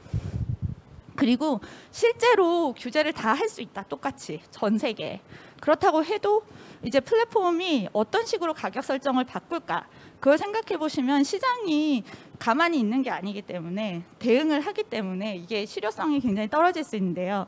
예를 들어 이 두 가지 실증 분석 결과를 제가 소개를 시켜드리려고 하는데 Durbin regulation 같은 경우에는 이 debit card 우리나라의 그 체크 카드 같은 경우에는 수수료가 너무 과도하다고 상, 상인 상점에서 어, 말을 많이 하니까 그랬더니 원래는 어, 30% 정도였던 일반적으로 30% 정도였던 수수료를 15%까지만 이제 은행들한테 15%까지만 받을 수 있도록 cap을 씌웠습니다. 그랬더니 이제 좋아졌냐? 그랬을 때 옛날에는 은행들이 좀 작은 소액 거래가 일어나는 작은 상점들한테는 굉장히 어, fee를 적게 받고 큰 상점한테 많이 받고 이렇게 가격 차별화도 많이 사용하고 적절하게 자기가 시장에 맞게 했던 반면 이런 cap이 씌워졌더니 그냥 uniform pricing이 되면서 오히려 소액 거래 상인들한테는 fee가 높아지는 그런 효과가 일어났었고 또 아까 보셨듯이 이 가격 구조라는 걸 보시면 가격 수준이 같은데 가격 수준을 같게 유지하면서 가격 구조만 바꿀 수 있거든요. 가격 구조를 이쪽에 cap을 씌우면은 이쪽에 뭐 zero pricing 하던 거를 가격을 좀 더 높이게 되겠죠. 굉장히 자연스럽게. 그렇기 때문에 이 이용자들, 소비자들한테 주던 혜택은 많이 감소하게 되었다. 이런 실증 분석이 있었고요. 미국 같은 경우에는 배달앱 수수료와 관련한 어, 얘기가 있었습니다. COVID 상황에서 어, 식당, 어, 음식 업체들이 너무 피해를 많이 입고 있으니까 한시적으로 원래 플랫폼에서는 배달로 배달앱이 수수료를 과도하게 받을 수 없도록 상한을 설치하는 것을 템포러리하게 들여온 도시들이 있는데요. 그 어, 사실 최근에는 이걸 permanent하게 만들어야 한다 이런 식의 움직임도 있습니다. 근데 이렇게 규제가 들어온 도시와 없는 도시를 비교를 해봤더니 규제 도시에서는 오히려 그러니까 원래 이 법이 보호하고자 했던 건 독립적인 음식점인데 local 음식점들인데 얘네들이 피해를 받게 되고 왜냐하면은 추천 시스템이 달라졌다는 겁니다. 그러니까 플랫폼이 얼마든지 그 효과를 어, 없애기 위해서 recommendation 시스템도 바꿀 수가 있고 그리고 또는 아, 그래서 이제 규제가 인접 도시에 다른 식당이 있는 경우에는 규제가 없는 다른 도시 쪽으로 이렇게 이끌어 준다든지 이런 식으로 플랫폼이 얼마든지 다른 기술을 통해서 이걸 좀 side side로 이렇게 가서 어, 피할 수 있다 이런 부분이 있고요. 그리고 또한 규제 도시에서는 플랫폼이 소비자 측에 이제 zero pricing을 하기보다는 배달비를 인상한다든지 좀 더 소비자 쪽에 가, 높은 가격을 설정하게 되는 겁니다. 그러니까 가격에 cap을 씌운다는 것은 사실 가격 구조에 영향을 미치게 됩니다. 그러니까 이쪽을 내 일부러 내리면은 다른 쪽이 좀 올라가게 될 수밖에 없다는 거. 이 부분도 반드시 생각을 해야 하고요. 그리고 어, 또 다른 경쟁적인 상황과도 종합적으로 고려를 할 필요가 있습니다. 예를 들어 최애국 우대 조항, 뭐 우리 플랫폼 말고 다른 데에서 더 싸게 팔면 안 돼. 뭐 이런 거. 그 조항이 들어와야 하냐 말아야 하냐 뭐 이런 거라든지 아니면 자사우대 같은 경우 뭐 자기 자기 쪽 어 그 입점업체한테는 수수료를 안 받지만 남한테는 받을 경우 만약 커미션이 굉장히 높다면 자사우대의 효과는 더 커지겠죠. 굉장히 차별성이 커지니까. 아 그러니까 이런 경쟁 상황을 종합적으로 판단해서 이 price cap이 어느 수준을 만약 들어온다면 어느 수준을 들어와야 하나 들어오는 게 맞나 여기에 대해서 어, 논의가 많이 필요하다고 생각합니다. 네 이상입니다.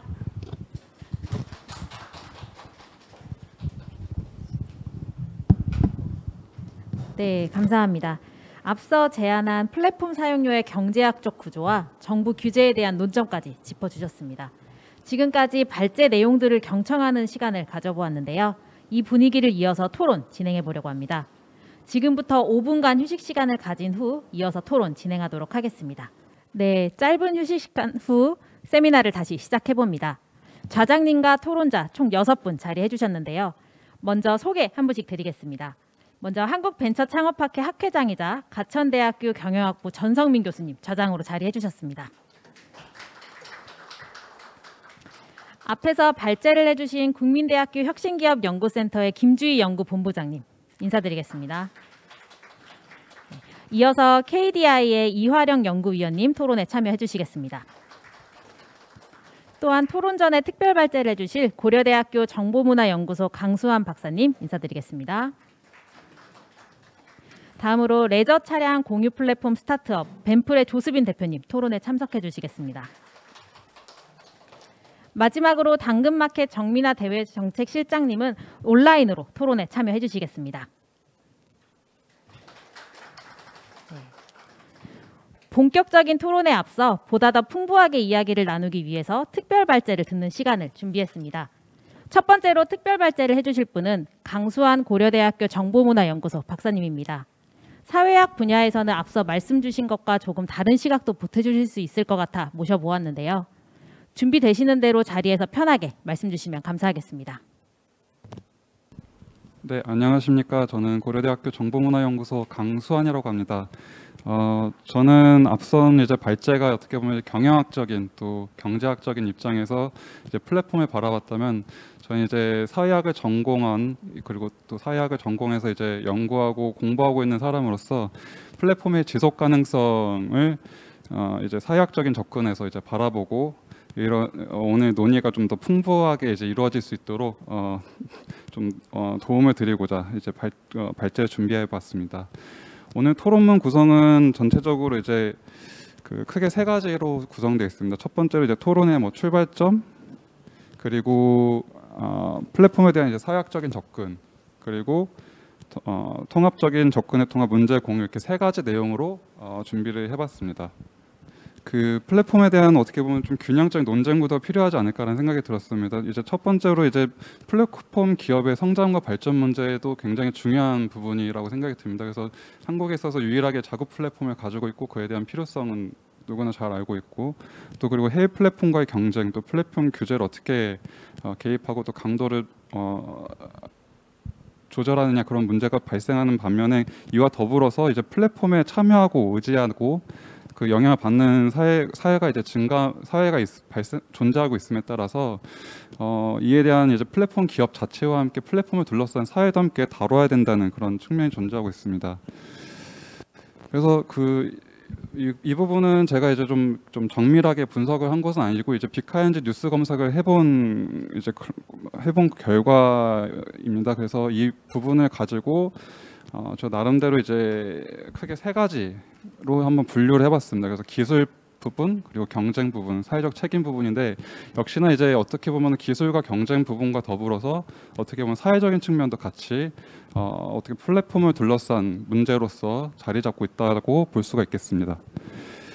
그래서 이러한 부분들에 대해서는 어떻게 보면은 플랫폼이라는 것의 특징이라는 것은 어떻게 보면은 영화 제작사 구독자를 연결하는 것과처럼 그리고 식당과 고객을 직접 연결하는 것처럼 어떻게 보면 참여자들의 상호 자, 참여자들 간의 상호 작용을 유발시키는 것이 어떻게 보면은 플랫폼의 큰 특징이라고 볼 수가 있는데 이러한 특징 속에서 어떻게 보면은 사회적인 접근 측면들이 어, 많이 강조돼야 될 거라는 생각이 듭니다. 그래서 어, 사회학적인 접근으로서 어떻게 보면은 이제 사회적으로 배태된 플랫폼으로서 이제 바라볼 수가 있을 것 같은데 사회학적 접근이라는 것은 어떻게 보면 모든 대상들이 사회에 이제 배태되어 있다, 속해 있다라고 볼 수가 있습니다. 그래서 어떻게 보면은 모든 대상들이 그 엄마 뱃속에 탯줄로 연결된 그 태아의 모습처럼 그 어, 플랫폼 기업 역시도 사회에 속해 있기 때문에 플랫폼 기업 유지에 필요한 그 사회들 사회를 같이 고려해야 된다라고 볼 수가 있겠습니다. 그래서 우리가 이제 함께 논의를 해야 될 때는 그 고려 대상으로서 플랫폼 기업만이 아니라 플랫폼 기업에 이제 참여하는 판매 기업, 소비자 그리고 플랫폼 노동자 그리고 더 넓게는 산업 생태계와 같은 전체적인 사회적 맥락을 함께 고려해야 된다라고 볼 수가 있겠습니다.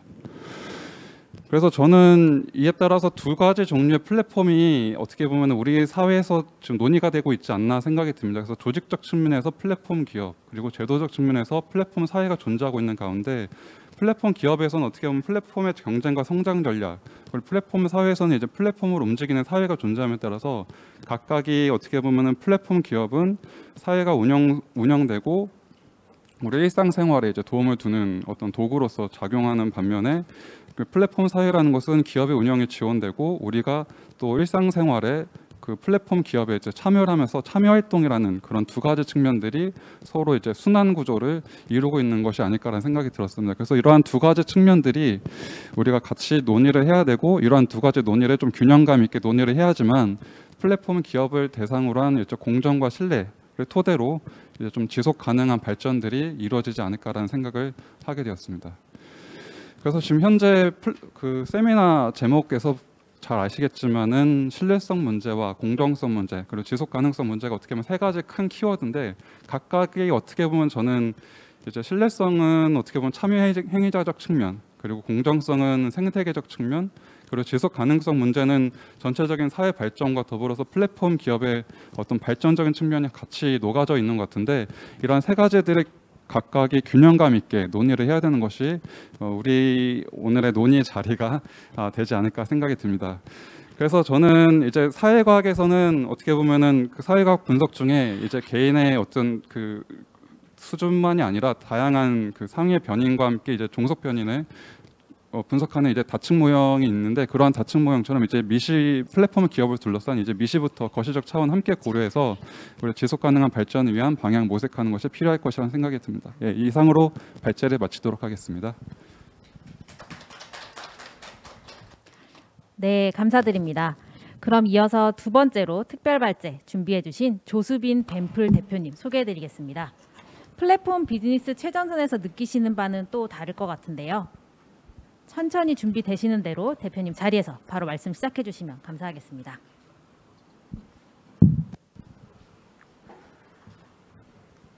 네, 안녕하세요. 뱀플 대표 맡고 있는 조수빈이라고 합니다.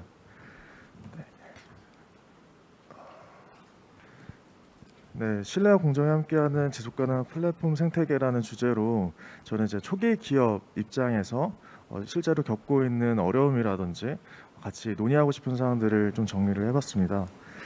일단 발제 앞서서 저희 밴플에 대한 소개를 간단히 드리고 말씀을 드리도록 하겠습니다. 저희 밴플은 van life 플랫폼입니다. 그래서 van life라는 게 아직도 많이 생소하실 텐데요. 그 차량 자체가 이동 수단에서 공간으로 확장되는 패러다임의 변화를 뜻합니다. 이런 이동형 라이프 스타일을 저희는 만들어가고 있고요. 한국에서는 차박, 어, 한국형 저희는 차박을 단기형 van life, 한국형 van life로 보고 있습니다.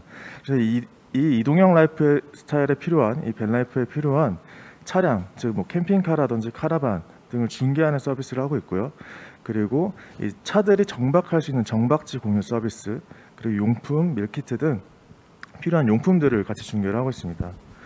앞서서 이제 많이 발표를 해주신 내용들과 일맥상통하게 저희는 이제 수수료라는 어 이제 수익 모델을 가지고 있고 참여자들에게는 호스트에게는 이제 ERP 시스템이라든지 대시보드 등의 그 자동화할 수 있는 시스템들을 이제 만들어 드렸고요. 그리고 고객들에게는 정보 비대칭성을 이제 제거해 줄 수 있는 온라인 일원화되는 그런 플랫폼으로서의 역할을 하고 있습니다. 그리고 이렇게 분산되어 있는 그런 정보들을 저희는 저희 플랫폼을 통해서 한 곳에서 한 번에 할 수 있는 그런 서비스를 제공을 하고 있습니다.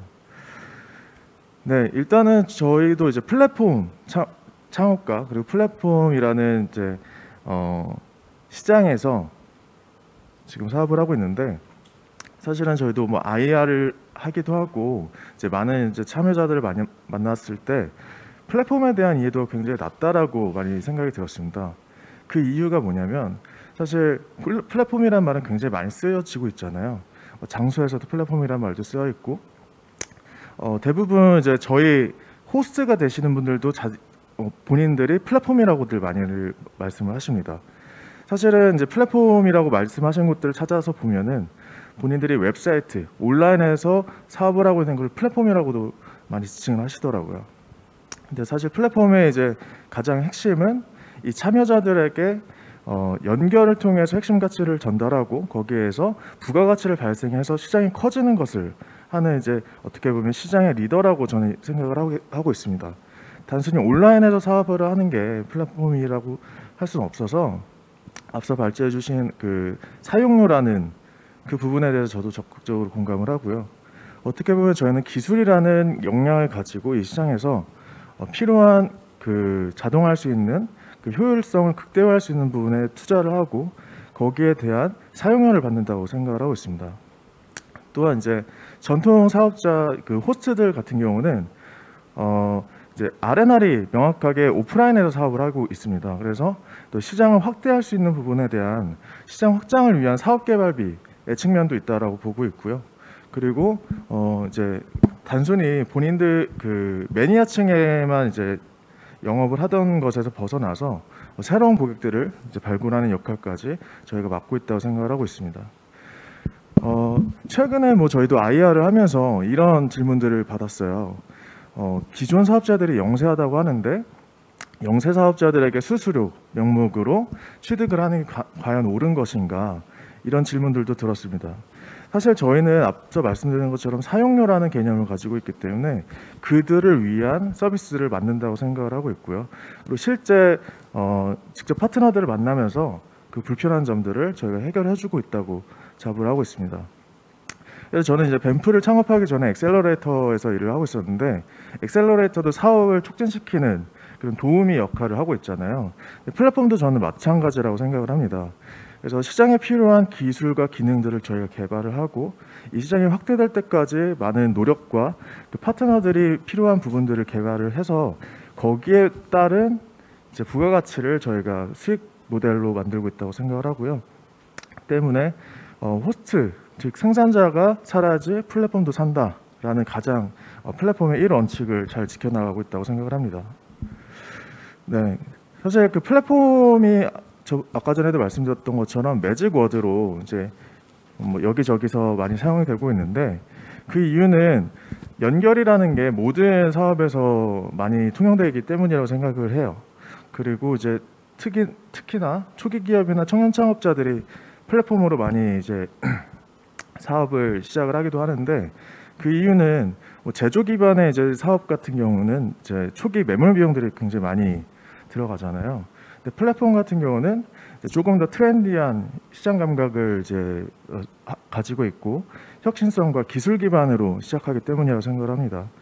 하지만 진입은 쉽지만 이, 플- 어, 이 플랫폼 형태로 진행되는 기업들이 성장하기에는 굉장히 어려운 환경인 것 같아요. 어, 시장 규제, 이제 정부 그런 법적 규제들도 굉장히 많이 있고요. 그리고 기존에 있는 이제 어, 이해관계들이 굉장히 많이 섞여 있기 때문에 이 지원에 대한 부분은 많이 필요하다고 생각이 듭니다. 또한 이제 가장 큰 게 시장 규모에 대한 회의인데요. 어, 기존의 플랫폼들 이제 전통적인 플랫폼들은 이제 거대 기업들이 이미 많이 가지고 있고 혁신성이라는 건 이 vertical market에서 정말 어, 아이디어 그리- 그리고 새로운 기술을 통한 이제 혁신들이 일어나는 곳인데 vertical market은 말 그대로의 vertical이기 때문에 굉장히 niche market입니다. 그래서 시장 규모는 작을 수밖에 없지만 이 어, 그 scalable한 마켓에 대한 가능성이 굉장히 높은데 이 vertical 마켓을 이제 어, 선점을 하고 거기에서 좀 확장할 수 있는 가능성도 굉장히 큽니다. 그래서 단순히 이제 플랫폼 vertical 마켓에 대해서 시장 규모가 작다라는 이유로 어, 외면받지 않아야 된다라고 생각이 들고요. 그리고 더 많은 관심과 규제에 대한 어, 뭐랄까요 해소가 많이 필요하다고 생각이 듭니다. 때문에 저희도 이제 어, 어드보카시 활동이라든지 뭐 샌드박스나 다양한 활동들을 통해서 우리 시장에 있는 파트너들에게 이익이 돌아갈 수 있는 순환 구조를 많이 짜려고 노력을 하고 있고요.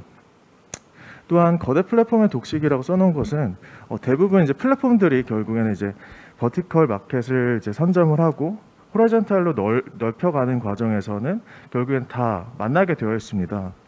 근데 이제 슈퍼앱들이 요새 또 많이 생기고 있는데 슈퍼앱들이 뭐 이제 테스트를 하는 거는 좋으나 기존의 이제 버티컬 마켓에 대한 상생에 대해서도 많이 고려를 해줘야 된다고 생각이 듭니다. 네.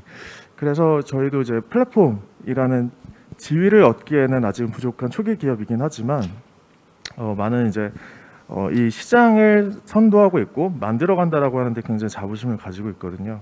그리고 저희 참여자들 특히나 이 시장의 주인인 호스트들이 굉장히 만족도가 크고 시장에 대한 어떤 어, 포텐셜을 많이 기대를 하고 있습니다. 그래서 저희도 그런 진정성을 가지고 어, 신뢰 공정을 바탕으로 한 플랫폼으로 성장할 수 있도록 많이 노력을 하겠습니다. 감사합니다. 네, 감사드립니다. 강수환 박사님과 조수빈 대표님의 이야기 잘 들어보았는데요. 그럼 이제부터 본격적인 토론 시간을 가져보도록 하겠습니다. 토론은 50분간 진행됩니다. 좌장은 전성민 교수님께 부탁드려 보겠습니다. 예, 안녕하십니까. 아, 가천대 경영학부의 전성민입니다. 오늘 어, 그 세미나의 제목이 어, 플랫폼 생태기 생태계 토파보기. 그래서 이 토파복이라는 말이 조금 낯설 분들도 있는 것 같은데 이게 이제 세세히 찬찬히 처음부터 끝까지 쭉 훑어본다, 어, 자세히 들여다본다, 뭐 이런 이런 말인데 제가 오늘 이렇게 세미나를 쭉 들어보면서 아, 정말 학계 어 그리고 연구 또 이제 현업 어 그리고 이제 그 실무에 계신 어 이런 아주 다양한 의견을 정말 들어볼 수 있어 굉장히 깊이 있는 세미나가 좀 진행된 게 아닌가 싶은데요.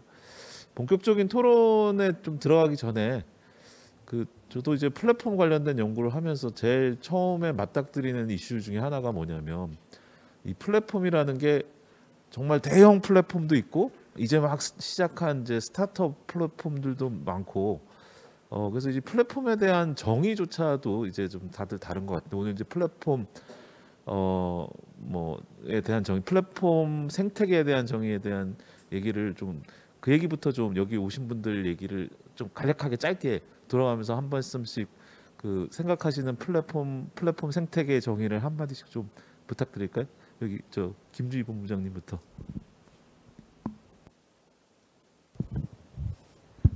어, 우선 플랫폼에 대한 정의인데 지금 어, 자장님께서 말씀하신 거는 플랫폼 기업에 대한 정의겠죠. 네. 어, 플랫폼 기업에 대한 정의는 어, 참여자 다양한 참여자들을 토대로 해서 이들 참여자들 간의 연결을 통해서 어, 가치를 만들어내고 어, 사용자에게 사- 어, 서비스나 제품을 공급하는 기업으로 이렇게 정의될 수 있다고 보고요. 이제 플랫폼 생태계는 이러한 플랫폼 기업들 그리고 이제 제품과 어, 서비스를 제, 이 플랫폼 기업의 제품과 서비스를 제공하는 저희가 이제 그 학계 용어로 complementor라고 보완자라고 얘기를 하잖아요. 그래서 이 보완자들 그리고 이 보완자들이 제공하는 제- 서비스가 건너가서 이제 전달을 받는 음, 사용자들로 이루어진 생태계를 플랫폼 생태계라고 볼 수 있을 듯합니다. 아주 예. 근데 너무 길게 얘기하시면 뒤에 분들이 하실 말씀이 없습니다. 자, 그러면 다음에 예, 이화령 예, 연구위원님. 네, 이미 금주희 본부장님께서 학술적인 정의는 내려주셨기 때문에 키워드만 말씀을 드리자면 모든 분들의 발표에서 나왔던 것 같은데 연결, 네, 연결이 가장 핵심 가치인 것 같고 어, 하나만 더 말씀드리자면 새로운 시장의 열림, 뭐 이렇게 말하겠습니다.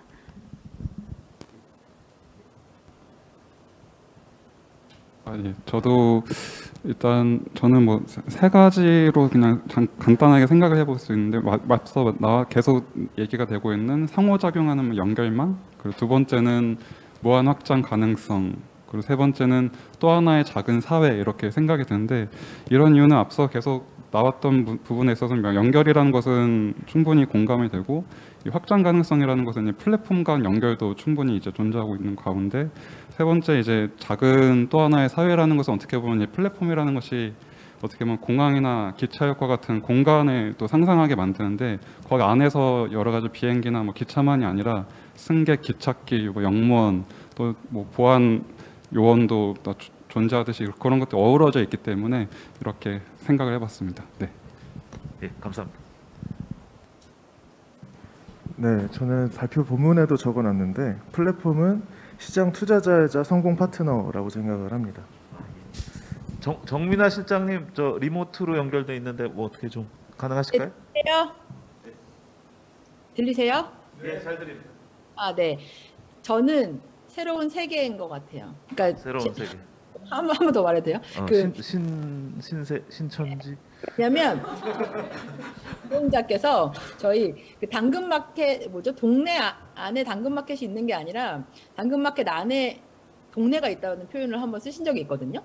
근데 이제 이 아까 연결 이런 측면이 요즘 제가 기업 와서 생각을 해보니까 연결을 어떻게 하느냐에 따라 완전 다른 세계가 구축이 되는 면이 있더라고요. 그래서 그 연결에 대한 그 기업의 가치, 방향 이게 결국 어, 똑같은 뭐 저희로 치면 뭐 중고나 커뮤니티 플랫폼이라도 완전 다른 색깔과 다른 성격의 어떤 새로운 세계를 만들어내는 게 아닌가라고 생각합니다. 예, 감사합니다.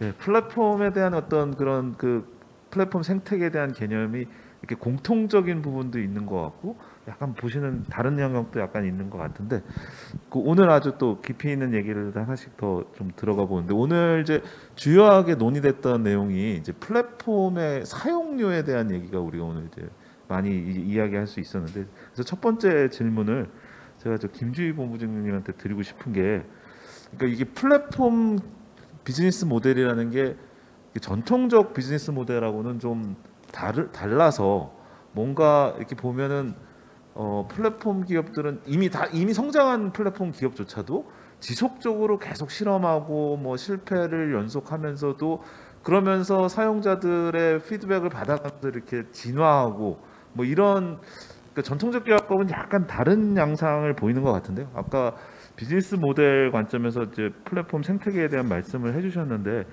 어, 거기에 대해서 어떤 그런 어, 이런 뭐 어, 뭐 flexibility, 유연성이라고 할까요? 뭐 이런 관점에서 좀 좀 더 한 말씀 더 부탁드릴까요?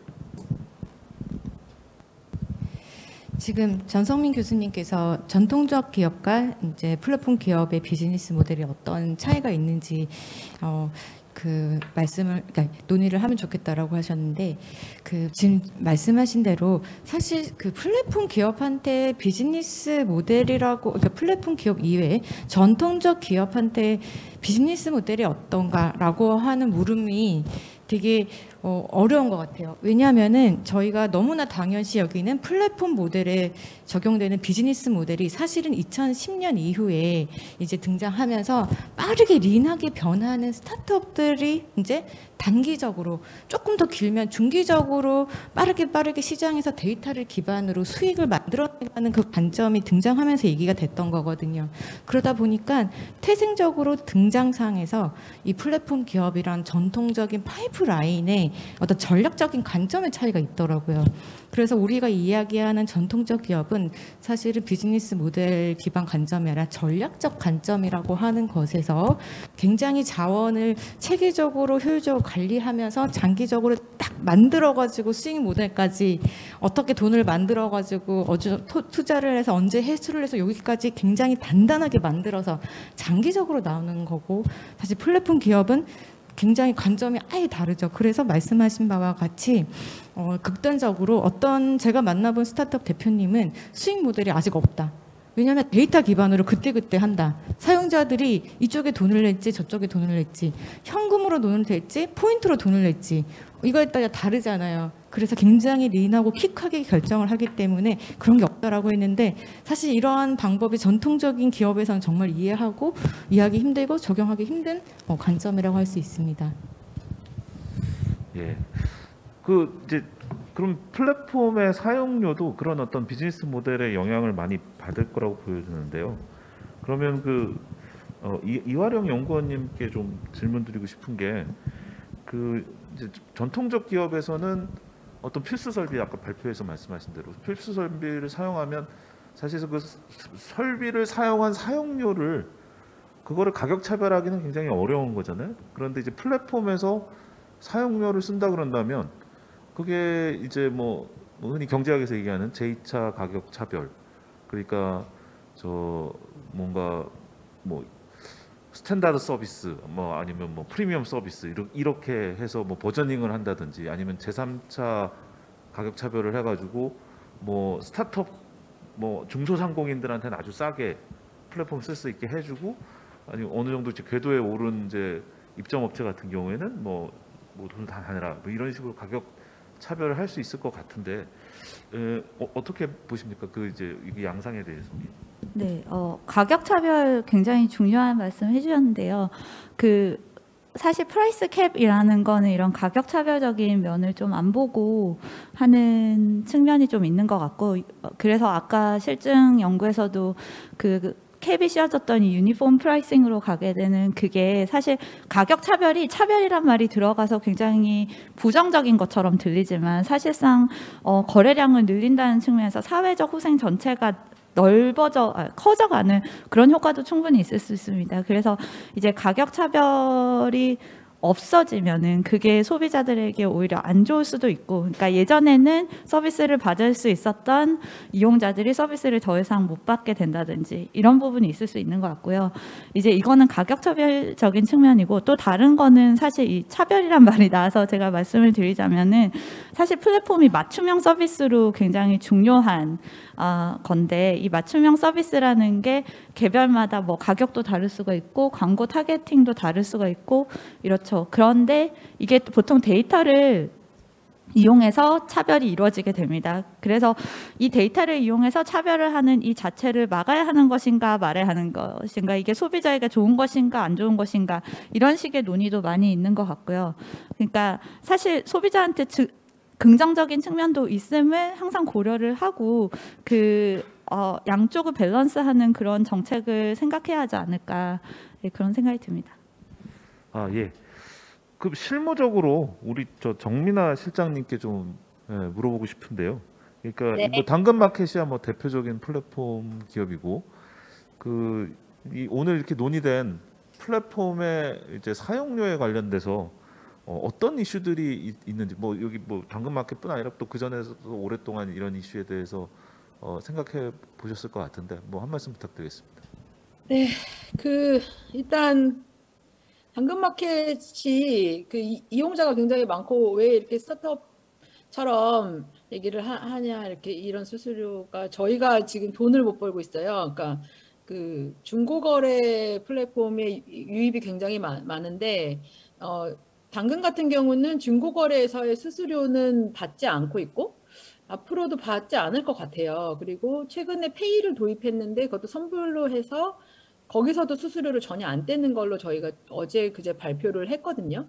근데 그 이유가 어, 우리는 수수료 안 떼는 뭐 착한 기업이 이런 이런 흐름을 타려고 하는 게 아니고 일종의 그 플랫폼에서 지향하는 여러 가치들 중에 하나인 것 같은데 중고거 당근에서의 중고거래는 이제 수익을 남기는 모델이라기보다는 음, 교류, 지역민들의 어떤 교류의 장이라는 어떤 철학을 갖고 있어서 그 부분에 있어서는 비즈니스 모델을 붙이지 않은 거죠. 단 그렇다면 당근마켓은 앞으로 어떻게 돈을 벌 수 있는가 그렇게 해야 유지가 될 테니까 그거를 저희가 지금 내부적으로 찾아가고 있는 중이에요. 그래서 저희처럼 굉장히 큰 스타트업, 큰 플랫폼이라고 할지라도 사실 아직 비즈니스 모델이 완결되지 않았기 때문에 어, 이게 어느, 어느 분들이 어떤 방식으로 이 비용을 지불할 의지가 있으실지에 대한 테스트가 안 됐다는 의미고 그런 맥락에서 이- 이게 고정된 어떤 잣대로 바라보기는 굉장히 어려운 측면이 있다. 수수료라는 게.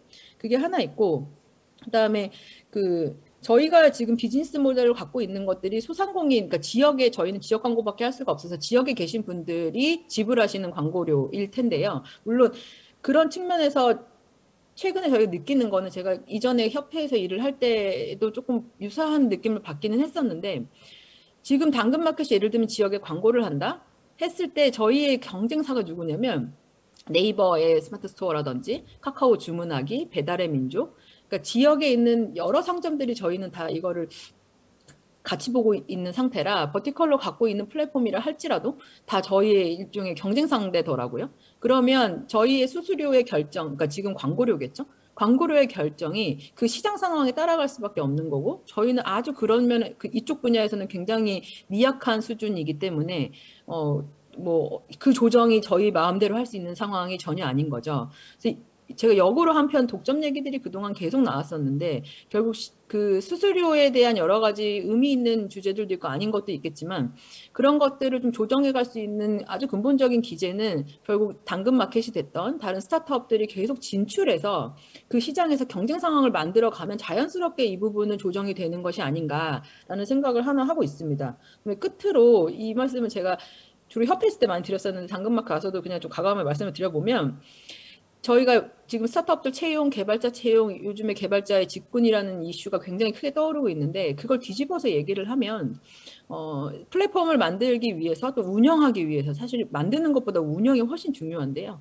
그 운영에 대한 저희의 초점이 너무 없었던 게 아닌가? 그건 두 가지인데 운영하기 위해서 들어가는 당연히 인건비 등의 비용 의 측면도 있을 것이고 또 하나는 운영을 얼마나 잘하느냐가 결국 소비자와 또 입점업체분들의 보호와도 연결이 되는 건데 우리가 운영이라는 측면을 너무 간과한 나머지 그냥 그 플랫폼의 그 간편성만 생각을 하고 음, 그 뒷단에서 일어나는 여러 가지 그런 세부적인 문제들, 초점을 맞춰야 되는 부분들에 대해서는 조금 이렇게 저희가 퉁치고 넘어가는 것 때문에라도 오히려 수수료라는 것의 필요나 이유들이 설명이 잘 안 됐던 부분이 있지 않을까라는 생각을 요즘 좀 하고 있습니다.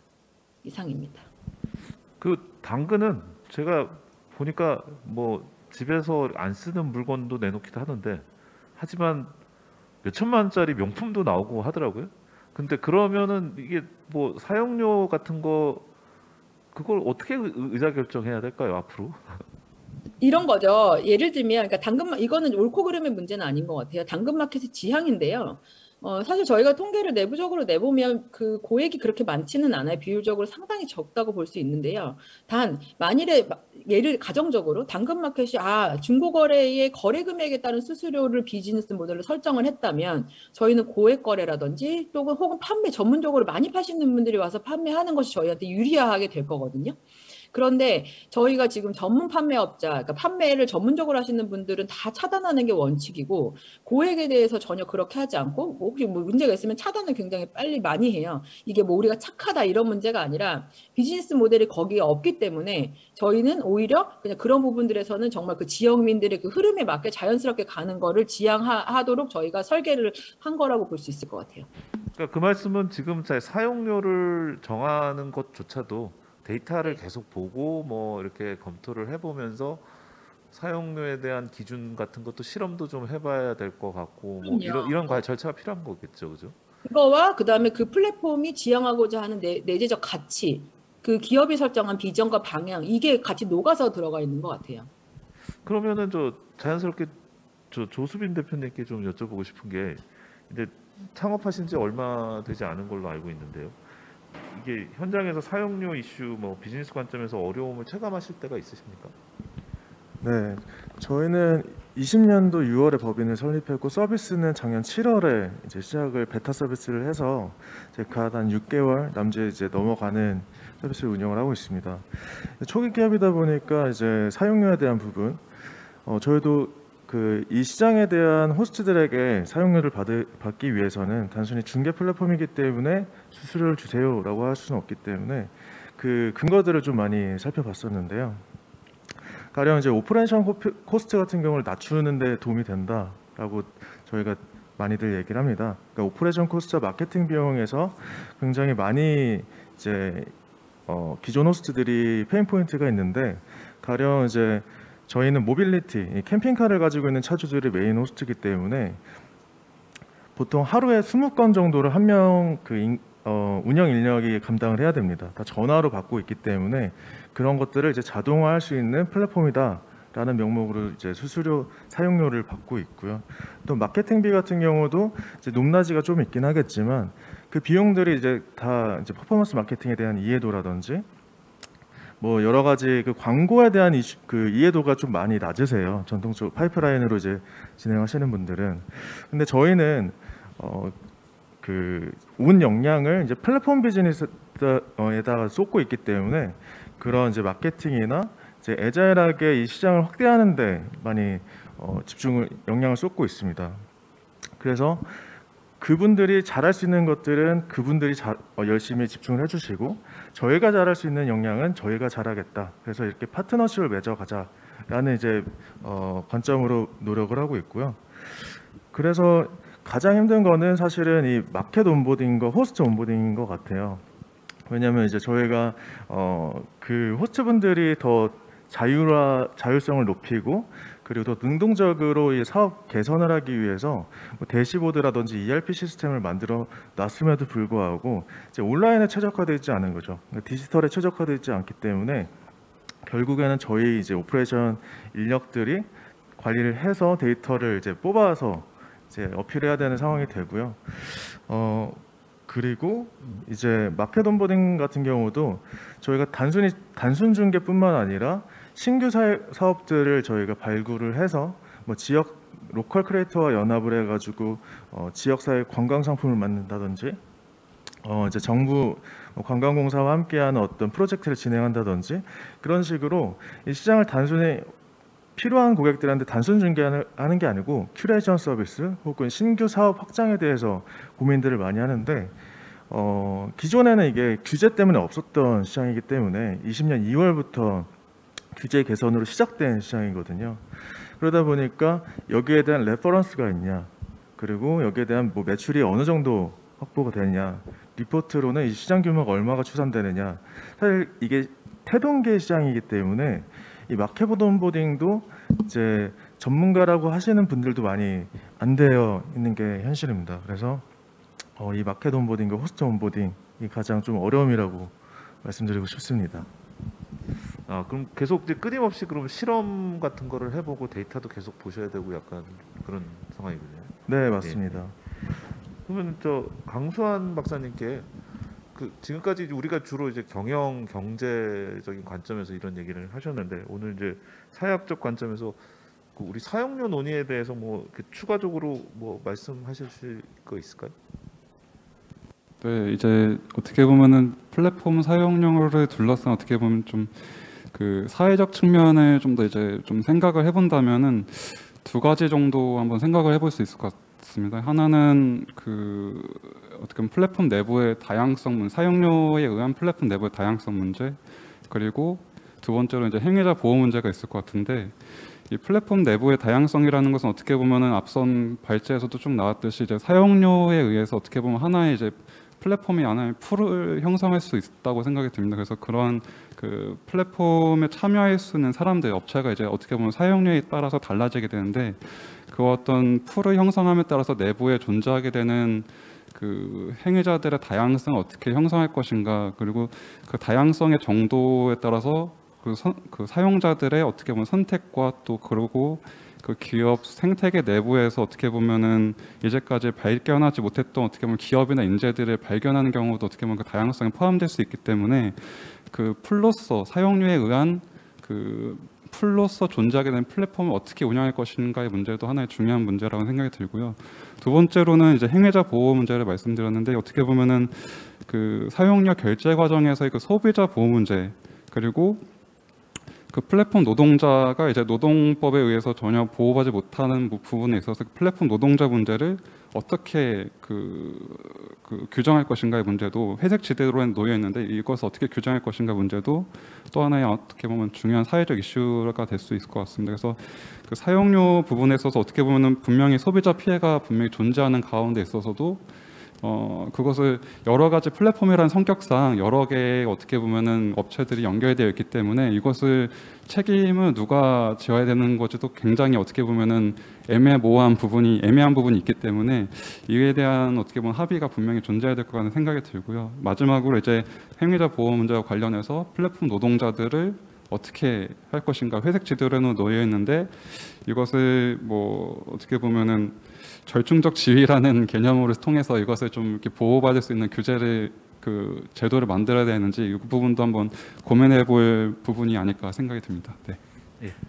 그 플랫폼 노동에 대한 말씀을 해주셨는데 물론 이게 한번 얘기가 시작되면 아마 플랫폼 노동만으로도 아마 하나의 세션으로 다 얘기가 되긴 할 텐데 이 얘기가 나온 김에 조금만 더 어 뭐 논의를 조금 더 했으면 하는 거가 이런 게 있는데요. 뭐 뭐냐면 이제 플랫폼에 노동을 제공하는 사람들은 굉장히 유연한 노동을 이제 할 수 있잖아요. 그러니까 뭐뭐 쿠팡이츠나 뭐 이런 데 보면 이제 배달 가는 거를 내가 원하는 시간에 뭐 이렇게 긴 시간 하지 않고 뭐 소일거리로 이렇게 하시는 분들도 있고 아니면 뭐 정말 배, 배달의 뭐 전문가 뭐 이렇게 해서 굉장히 많은 뭐 어, 수입을 목표로 열심히 하시는 분들도 있고 뭐 그래서 상당히 그 플렉서블한 그런 부분이 있고 하지만 또 다른 한편 어 이게 이제 이런 이런 식으로 이렇게 하다 보니까 이 노동 관계가 이게 뭐랄까요 이렇게 정규화되지 않는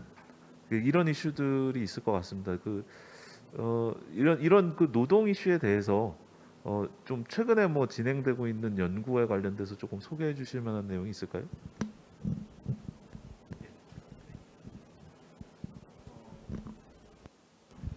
어떻게 보면 지금 어, 관련된 연구는 지금 갑자기 딱 떠오르진 않는데 일단 어떻게 보면은 그, 그그 어떻게 보면 가장 큰 이슈라는 것은 그 플랫폼 노동자들이라는 것이 어떻게 보면 그 양면 시장 중에서 이제 공급 측면에 어떻게 보면은 그 고객으로 이제 분류되다 보니까 이러한 어떤 기존 노동법에 의해서 이제 보호받지 못하는 문제도 발생함에 따라서 이제 이러한 부분들을 잘 해결해야 될 것 같은데 어, 어떻게 보면은 그 가장 큰 이슈 중에 하나가 이제 타다의 그 드라이버 최근에 이제 타다의 그, 그 드라이버를 근로자로서 인정하느냐 근로자로서 아니면은 그냥 어, 다른 부분 다른 존재로서 규정하느냐 그런 부분들도 어떻게 보면은 어, 가장 큰 이슈인데 이러한 부분들과 관련해 가지고 어떻게 보면 좀 어, 개념과 관련해서 좀 사회적 합의를 이루어 나가는 그리고 또 플랫폼 그 어떤 가치와 규범을 형성함에 있어서 그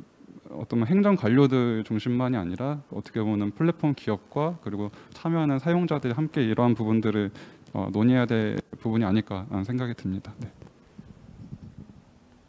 네, 그리고 그 플랫폼 노동이랑 관련한 재미있는 최신 연구가 있는데요. 지금 말씀, 전성민 교수님께서 말씀하신 것처럼 그 플랫폼 기업이 이제 메커니즘으로서의 플랫폼의 자- 어떤 유연성을 가지고 있기 때문에 그 이전과는 다른 방식으로 어, 근로를 근로 혹은 노동하는 사람들이 임금 시간의 결정의 자율성 그리고 임금 수준 결정의 자율성을 높였다는 연구 결과가 있거든요.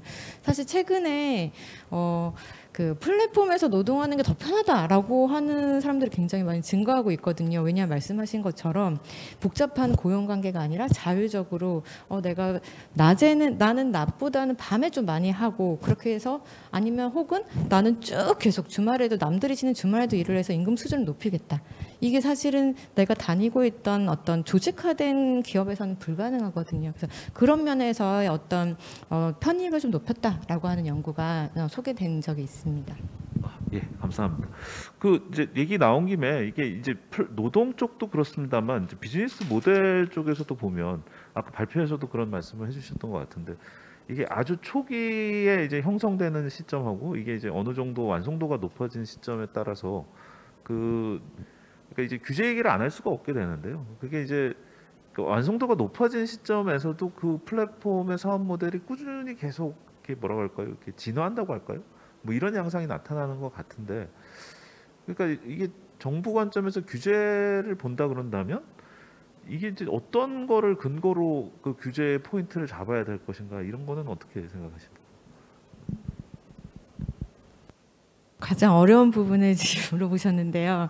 아, 이게 지금 사실은 굉장히 어려운 게 정말 근본적으로 시장 행정의 문제랑도 관련이 있는 것 같고 어떻게 보면 근데 비즈니스 모델 관점에서 말씀을 드리면 우선 비즈니스 모델 관점에서는 어떻게 보면은 어 아까 말씀드린 것처럼 어, 우리가 전통적으로 자꾸 파이프라인을 보던 관념에서 보는 거랑 좀 많이 벗어나야 될 것 같아요. 야놀자를 한번 생각해 보시면은 어, 야놀자는 사실은 어, 이제 갑자기 이제 유니콘으로까지 등장을 했는데 이 그 숙박업에서 굉장히 컸잖아요. 그러니까 이 친구가 차근차근 파이프라인처럼 시장 범위를 확대하면서 큰 게 아니라 플랫폼 네트워크 효과를 기본으로 굉장히 컸거든요. 그러면 이 친구는 아까 말씀하신 그 교수님께서 말씀하신 것처럼 야놀자는 어 그러면은 이제 얘네는 시장 독점력이 너무 크니까 규제해야 될 친구냐? 라고 했을 때 되게 question인 거죠. 왜냐하면 아까 정민아 실장님도 말씀하셨지만 이 기업의 실제로 수익이랑 매출을 다 장악하고 있는가 하는 거 하고 사용자를 기반으로 네트워크 효과가 큰가 하는 거는 좀 되게 굉장히 다른 view예요. 그래서 어려운 파트이고 이 부분은 저희가 앞으로 연구랑도 관련 진행을 해서 좀 풀어가야 할 대부, 부분이라고 조금 생각을 하거든요. 그래서 어느 포인트를 가지고 규제를 해야 될 것인가 이건 너무 어렵고 관련해서 사실은 정민아 실장님이 조금 비슷한 고민을 하고 계신 것 같아요. 그래서 의견 있으시면은 공유해 주시면 감사할 것 같습니다. 좌장님이 허락 안 받고 제가 얘기해도 되나요?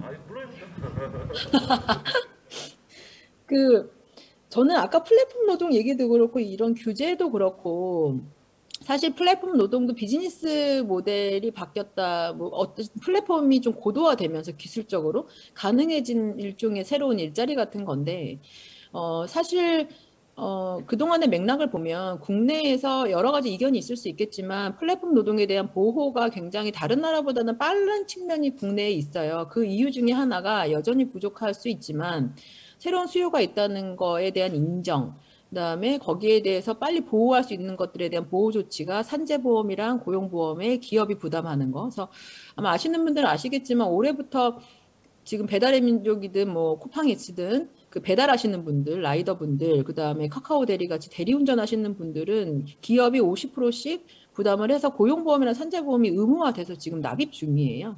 그러니까 이런 것들이 가능했던 이유가 일단 뭐 주무부처 또 그리고 노조도 그렇고 일단 이, 이 산업이 뭔지에 대한 학습했던 시간들이 있고 그걸 기반으로 저희가 그럼 현재 제도에서 어떻게 이걸 품어낼 수 있을까에서 서로 한 발 양보한 측면들이 있는 거거든요.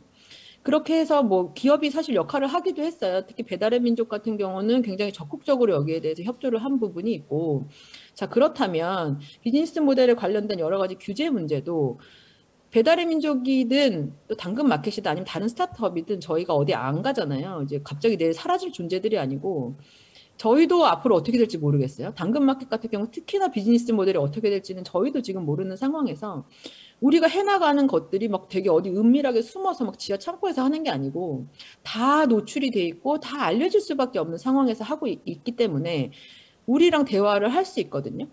저는 플랫폼 노동에 대한 법제화가 여러 가지 부족한 측면도 있지만 더 보완돼야 될 수도 있지만 잘 그래도 대화했던 사례라고 생각을 해요. 앞으로도 계속 해나갈 거고. 저희도 정부가 됐던 아, 이제 또 새 정부가 오시면 또 이제 새롭게 청와대도 구성이 될 텐데 좀 큰 틀에서 이 비즈니스 모델이 어떻게 변화하고 있는지를 저희와 같이 테이블에서 좀 보시고 보면서 기존 제도와의 합에 따라 가능한 범위의 단계적 규제들을 해나가는 거에 대해서는 기업들이 저는 적극적으로 협조할 거라고 생각하거든요. 네, 그래서 뭐 정치적으로는 일정 부분 굉장히 과한 얘기들이 오고 갈 수 있지만 실제 제도의 변화에 있어서는 좀 한 자리에 자주 앉아서 우리도 앞뒤를 모르니까 서로 좀 현재 시점을 놓고 좀 논의를 잘하는 자리가 사실 정답이 아닐까 저는 생각하고 있습니다. 예, 그, 그 새 정부가 굉장히 중요한 과제를 가지고 있게 되겠네요. 그러면 저 관련해서 이제 이화령 연구원님께 좀 여쭤보고 싶은 게 그 지금 이제 우리가 계속 얘기를 해보지만 실험과 함께 계속 데이터를 들여다보면서 비즈니스 모델도 지금 변화하고 그다음에 특히 오늘 이제 주로 얘기했던 그 사용료와 관련된 얘기가 있었는데 사용료 만약 규제에 대한 얘기를 하게 된다면 아까 재밌는 연구도 소개도 많이 해주신 것 같은데 아까 시간이 약간 모자란 것 같아서 다 소개 못한 게좀 약간 약간 아쉽기도 한데 그러니까 가령 이제 뭐 그뭐 뭐 아까 잠깐 질문에서 답, 답을 해주면서도 말씀했습니다. 버저닝을 한다든지 뭐 어 뭐 그다음에 이제 그룹 차별을 한다든지 그런 가격 차별을 통한 어떤 그런 수수료 정책을 가, 가져갔던 게 정부 규제를 맞으면서 그게 이제 그 영향을 받아가지고 그런 그 수수료 정책을 계속 유지하지 못하는 그런 사례도 있었던 걸 소개해 주시기도 했는데 그러면은 이 이런 수수료 규제와 관련된 정부는 앞으로 어떤 방향으로 가는 게 좋을까요? 네, 제가 아까 시간이 없어서 못했다기보다는 숨이 막혀서 다 하지를 못했는데요. 네, 그 아, 일단 수수료 규제와 관련해서 어떻게 가야 하냐 했을 때 아까 말씀드렸지만 사전적인 접근 방식이 있을 수 있고 우리가 일반적으로 생각하는 그 공정거래 정책적인 사후 규제가 있을 수 있는데 일단 저는 지금 어, 현재로서는 사후 규제로 가는 방법을 고민을 열심히 해야 할 것 같고요. 그런데 이제 수수료 규제가 일반적으로 우리가 경쟁 정책에서 다루는 경쟁 제한적인 행위냐 여기에 대해서는 논란이 있을 수밖에 없는 게 왜냐하면 이게 효율성을 해치는 게 아니라 누가 더 많은 몫을 가져가냐 이 분배의 문제이기 때문에 일반적으로 말하는 경쟁 정책의 목표라고 하는 효율성 측면이라든지 소비자 후생 측면보다는 분배성, 형평성에 좀 더 이제 어, 맞추어서 진행이 되는 부분이 있습니다. 물론 경쟁이랑도 좀 관계가 될 수 있는데 그렇기 때문에 이런 이런 이제 일반적으로 말하는 시장 지배적 남용 행위를 보자면 경쟁자를 배제하고 효율성을 해야 하는 그런 거라면은 그런 거야 뭐 universally 다 규제를 하고 있지만 착취적 남용이라고 하는 이 이제 너무 과도하게 자, 그 몫을 뺏어가고 불공정하게 행위를 하고 이런 착취적 남용에 대해서도 규율을 해야 하냐 이건 조금 philosophical한 것도 있는 것 같아요. 그러니까 분배라는 측면에서 해야 하냐 이제 그런 부분이 좀 있고 물론 그럼에도 불구하고 이게 이제 얼만큼 서로 나눠 가냐가 다른 경쟁 제한 행위랑도 굉장히 많이 연결이 돼 있는 것 같습니다. 사실 수수료를 굉장히 많이 받다 보니까 자사우대에 대해서 더 민감해질 수도 있는 거고 또 수수료를 굉장히 많이 받다 보니까 사실 그 아까 잠깐 말을 하다가 숨이 막혀서 못했던 그 MFN 조항 같은 거 그러니까 우리 플랫폼보다 다른 데서 더 싸게 팔면 안 된다라고 만약에 그거를 임포즈를 못하면 플랫폼이 그럼 사실 다른 업체들은 플랫폼에서 정보만 판 정보만 이렇게 하고 매칭만 된 다음에 그 오더를 자기한테 직접 주문하게 한다든지 다른 플랫폼 커미션 낮은 데로 간다든지 free riding problem이 있을 수 있고 그러면 사실 누가 플랫폼에 혁신을 하고 투자를 할 유인이 하나도 없기 때문에 그래서 이제 이 MFN 조항과 관련해서는 규, 규제를 해야 하냐 이게 불공정 행위냐 뭐 이런 얘기가 많이 있을 수 있듯이 이건 하나의 예지만요.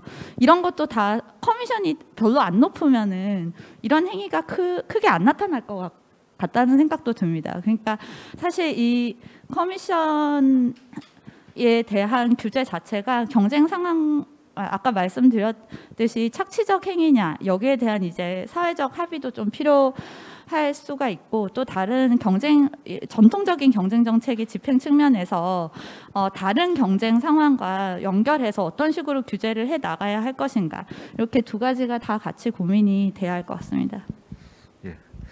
말씀 듣다 보니까 떠오른 건데 그러면 저 이- 이게 지금 사실 전통 비즈니스에서 플랫폼 비즈니스로 이전하면서 플랫폼 비즈니스는 어찌 보면 이제 상당히 flexible 하면서도 데이터 분석 계속하면서 의사 결정을 하면서 진화하는 비즈니스 모델을 갖고 있다면 그럼 정부도 약간 뭐 요즘 뭐 플랫폼 정부 이런 얘기도 많이 하시기도 하긴 하던데 좀 어 이런 의사 결정을 해야 되는 건 어떻게 보십니까? 뭐 그러니까 무슨 이- 우리가 새로 나타난 이런 사업 모델에 대해서 규제를 어떤 세팅을 하기 전에 어 어떤 실증 연구 같은 걸 많이 하는 거죠.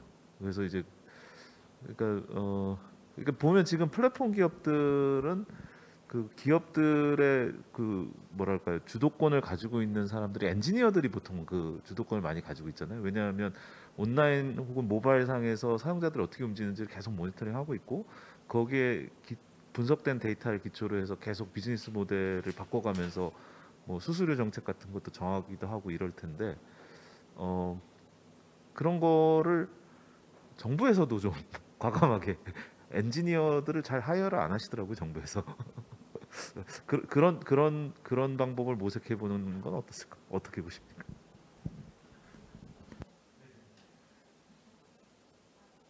저는 당연히 디지털 전문성을 굉장히 많이 갖춰야 한다는 생각은 듭니다. 정부에서 예 그렇고 제가 지금 질문을 정확히 이해는 어, 지가 좀- 다시 한 번만 아니, 그러니까 예, 저 그 지금 이제 새로 이 나타나고 있는 플랫폼 비즈니스들이 그 엔지니어들이 데이터 기반의 의사 결정을 하면서 비즈니스 모델이 계속 이렇게, 변- 이렇게 변하잖아요.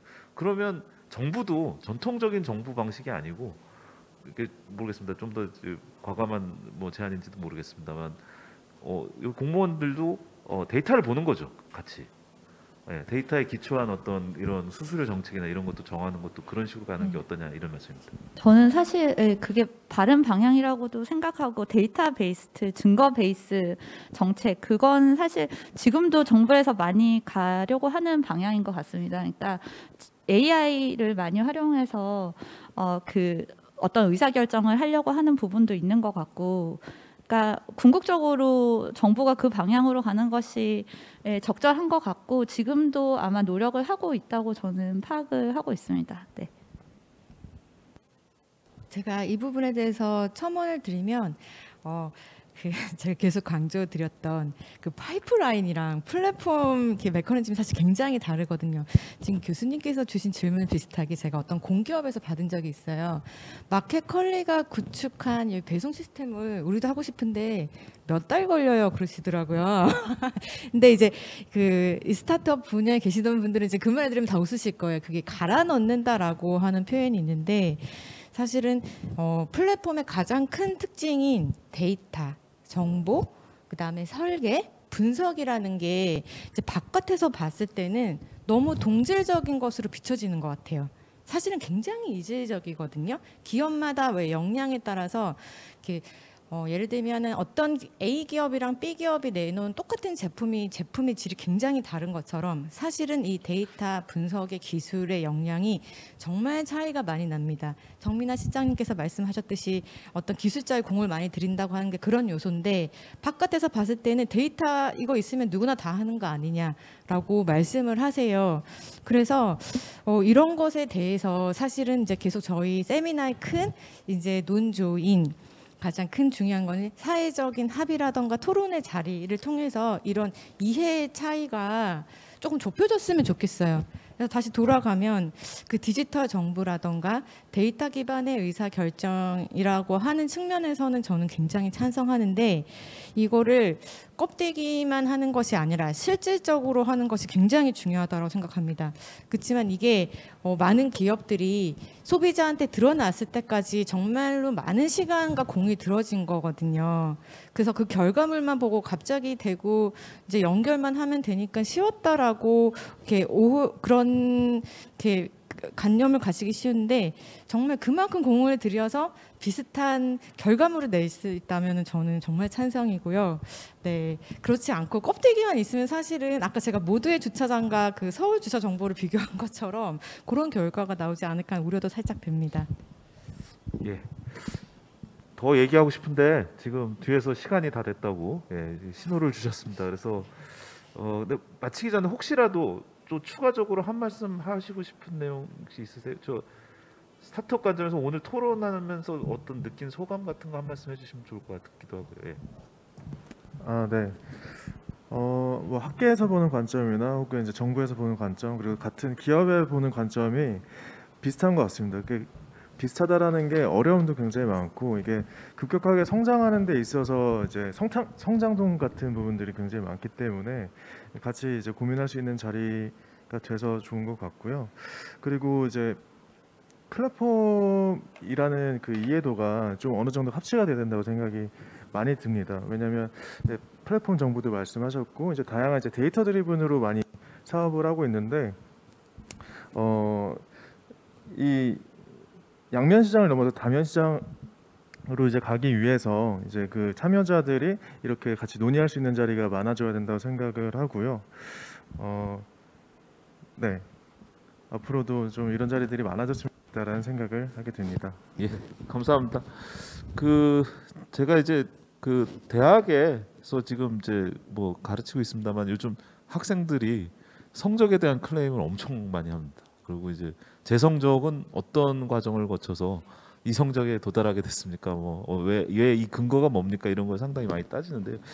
그러니까 이게 그뭐 Z 세대라고 할까요? 이게 그 어릴 적부터 이런 그 플랫폼 기술 뭐 검색 이런 거에 너무 익숙해져 있고 그 과정에 대한 그 신뢰와 공정 이런 거에 대한 어, 질문들을 계속 갖게 되는 것 같아요. 근데 그러니까 그런 관점을 보면 앞으로 우리 사회도 계속 이 플랫폼이 어, 비즈니스가 성장하고 이러면 그런 신뢰와 공정 문제가 굉장히 커질 것 같은데 오늘 뭐 플랫폼 생태계, 뭐 플랫폼의 수수료, 사용료 이런 거에 대한 다양한 아주 의견도 듣고 굉장히 값진 어, 토론도 우리가 하게 된 것 같습니다. 예, 오늘 뭐 이상으로 토론을 여기서 마무리하겠습니다. 예, 감사합니다. 네.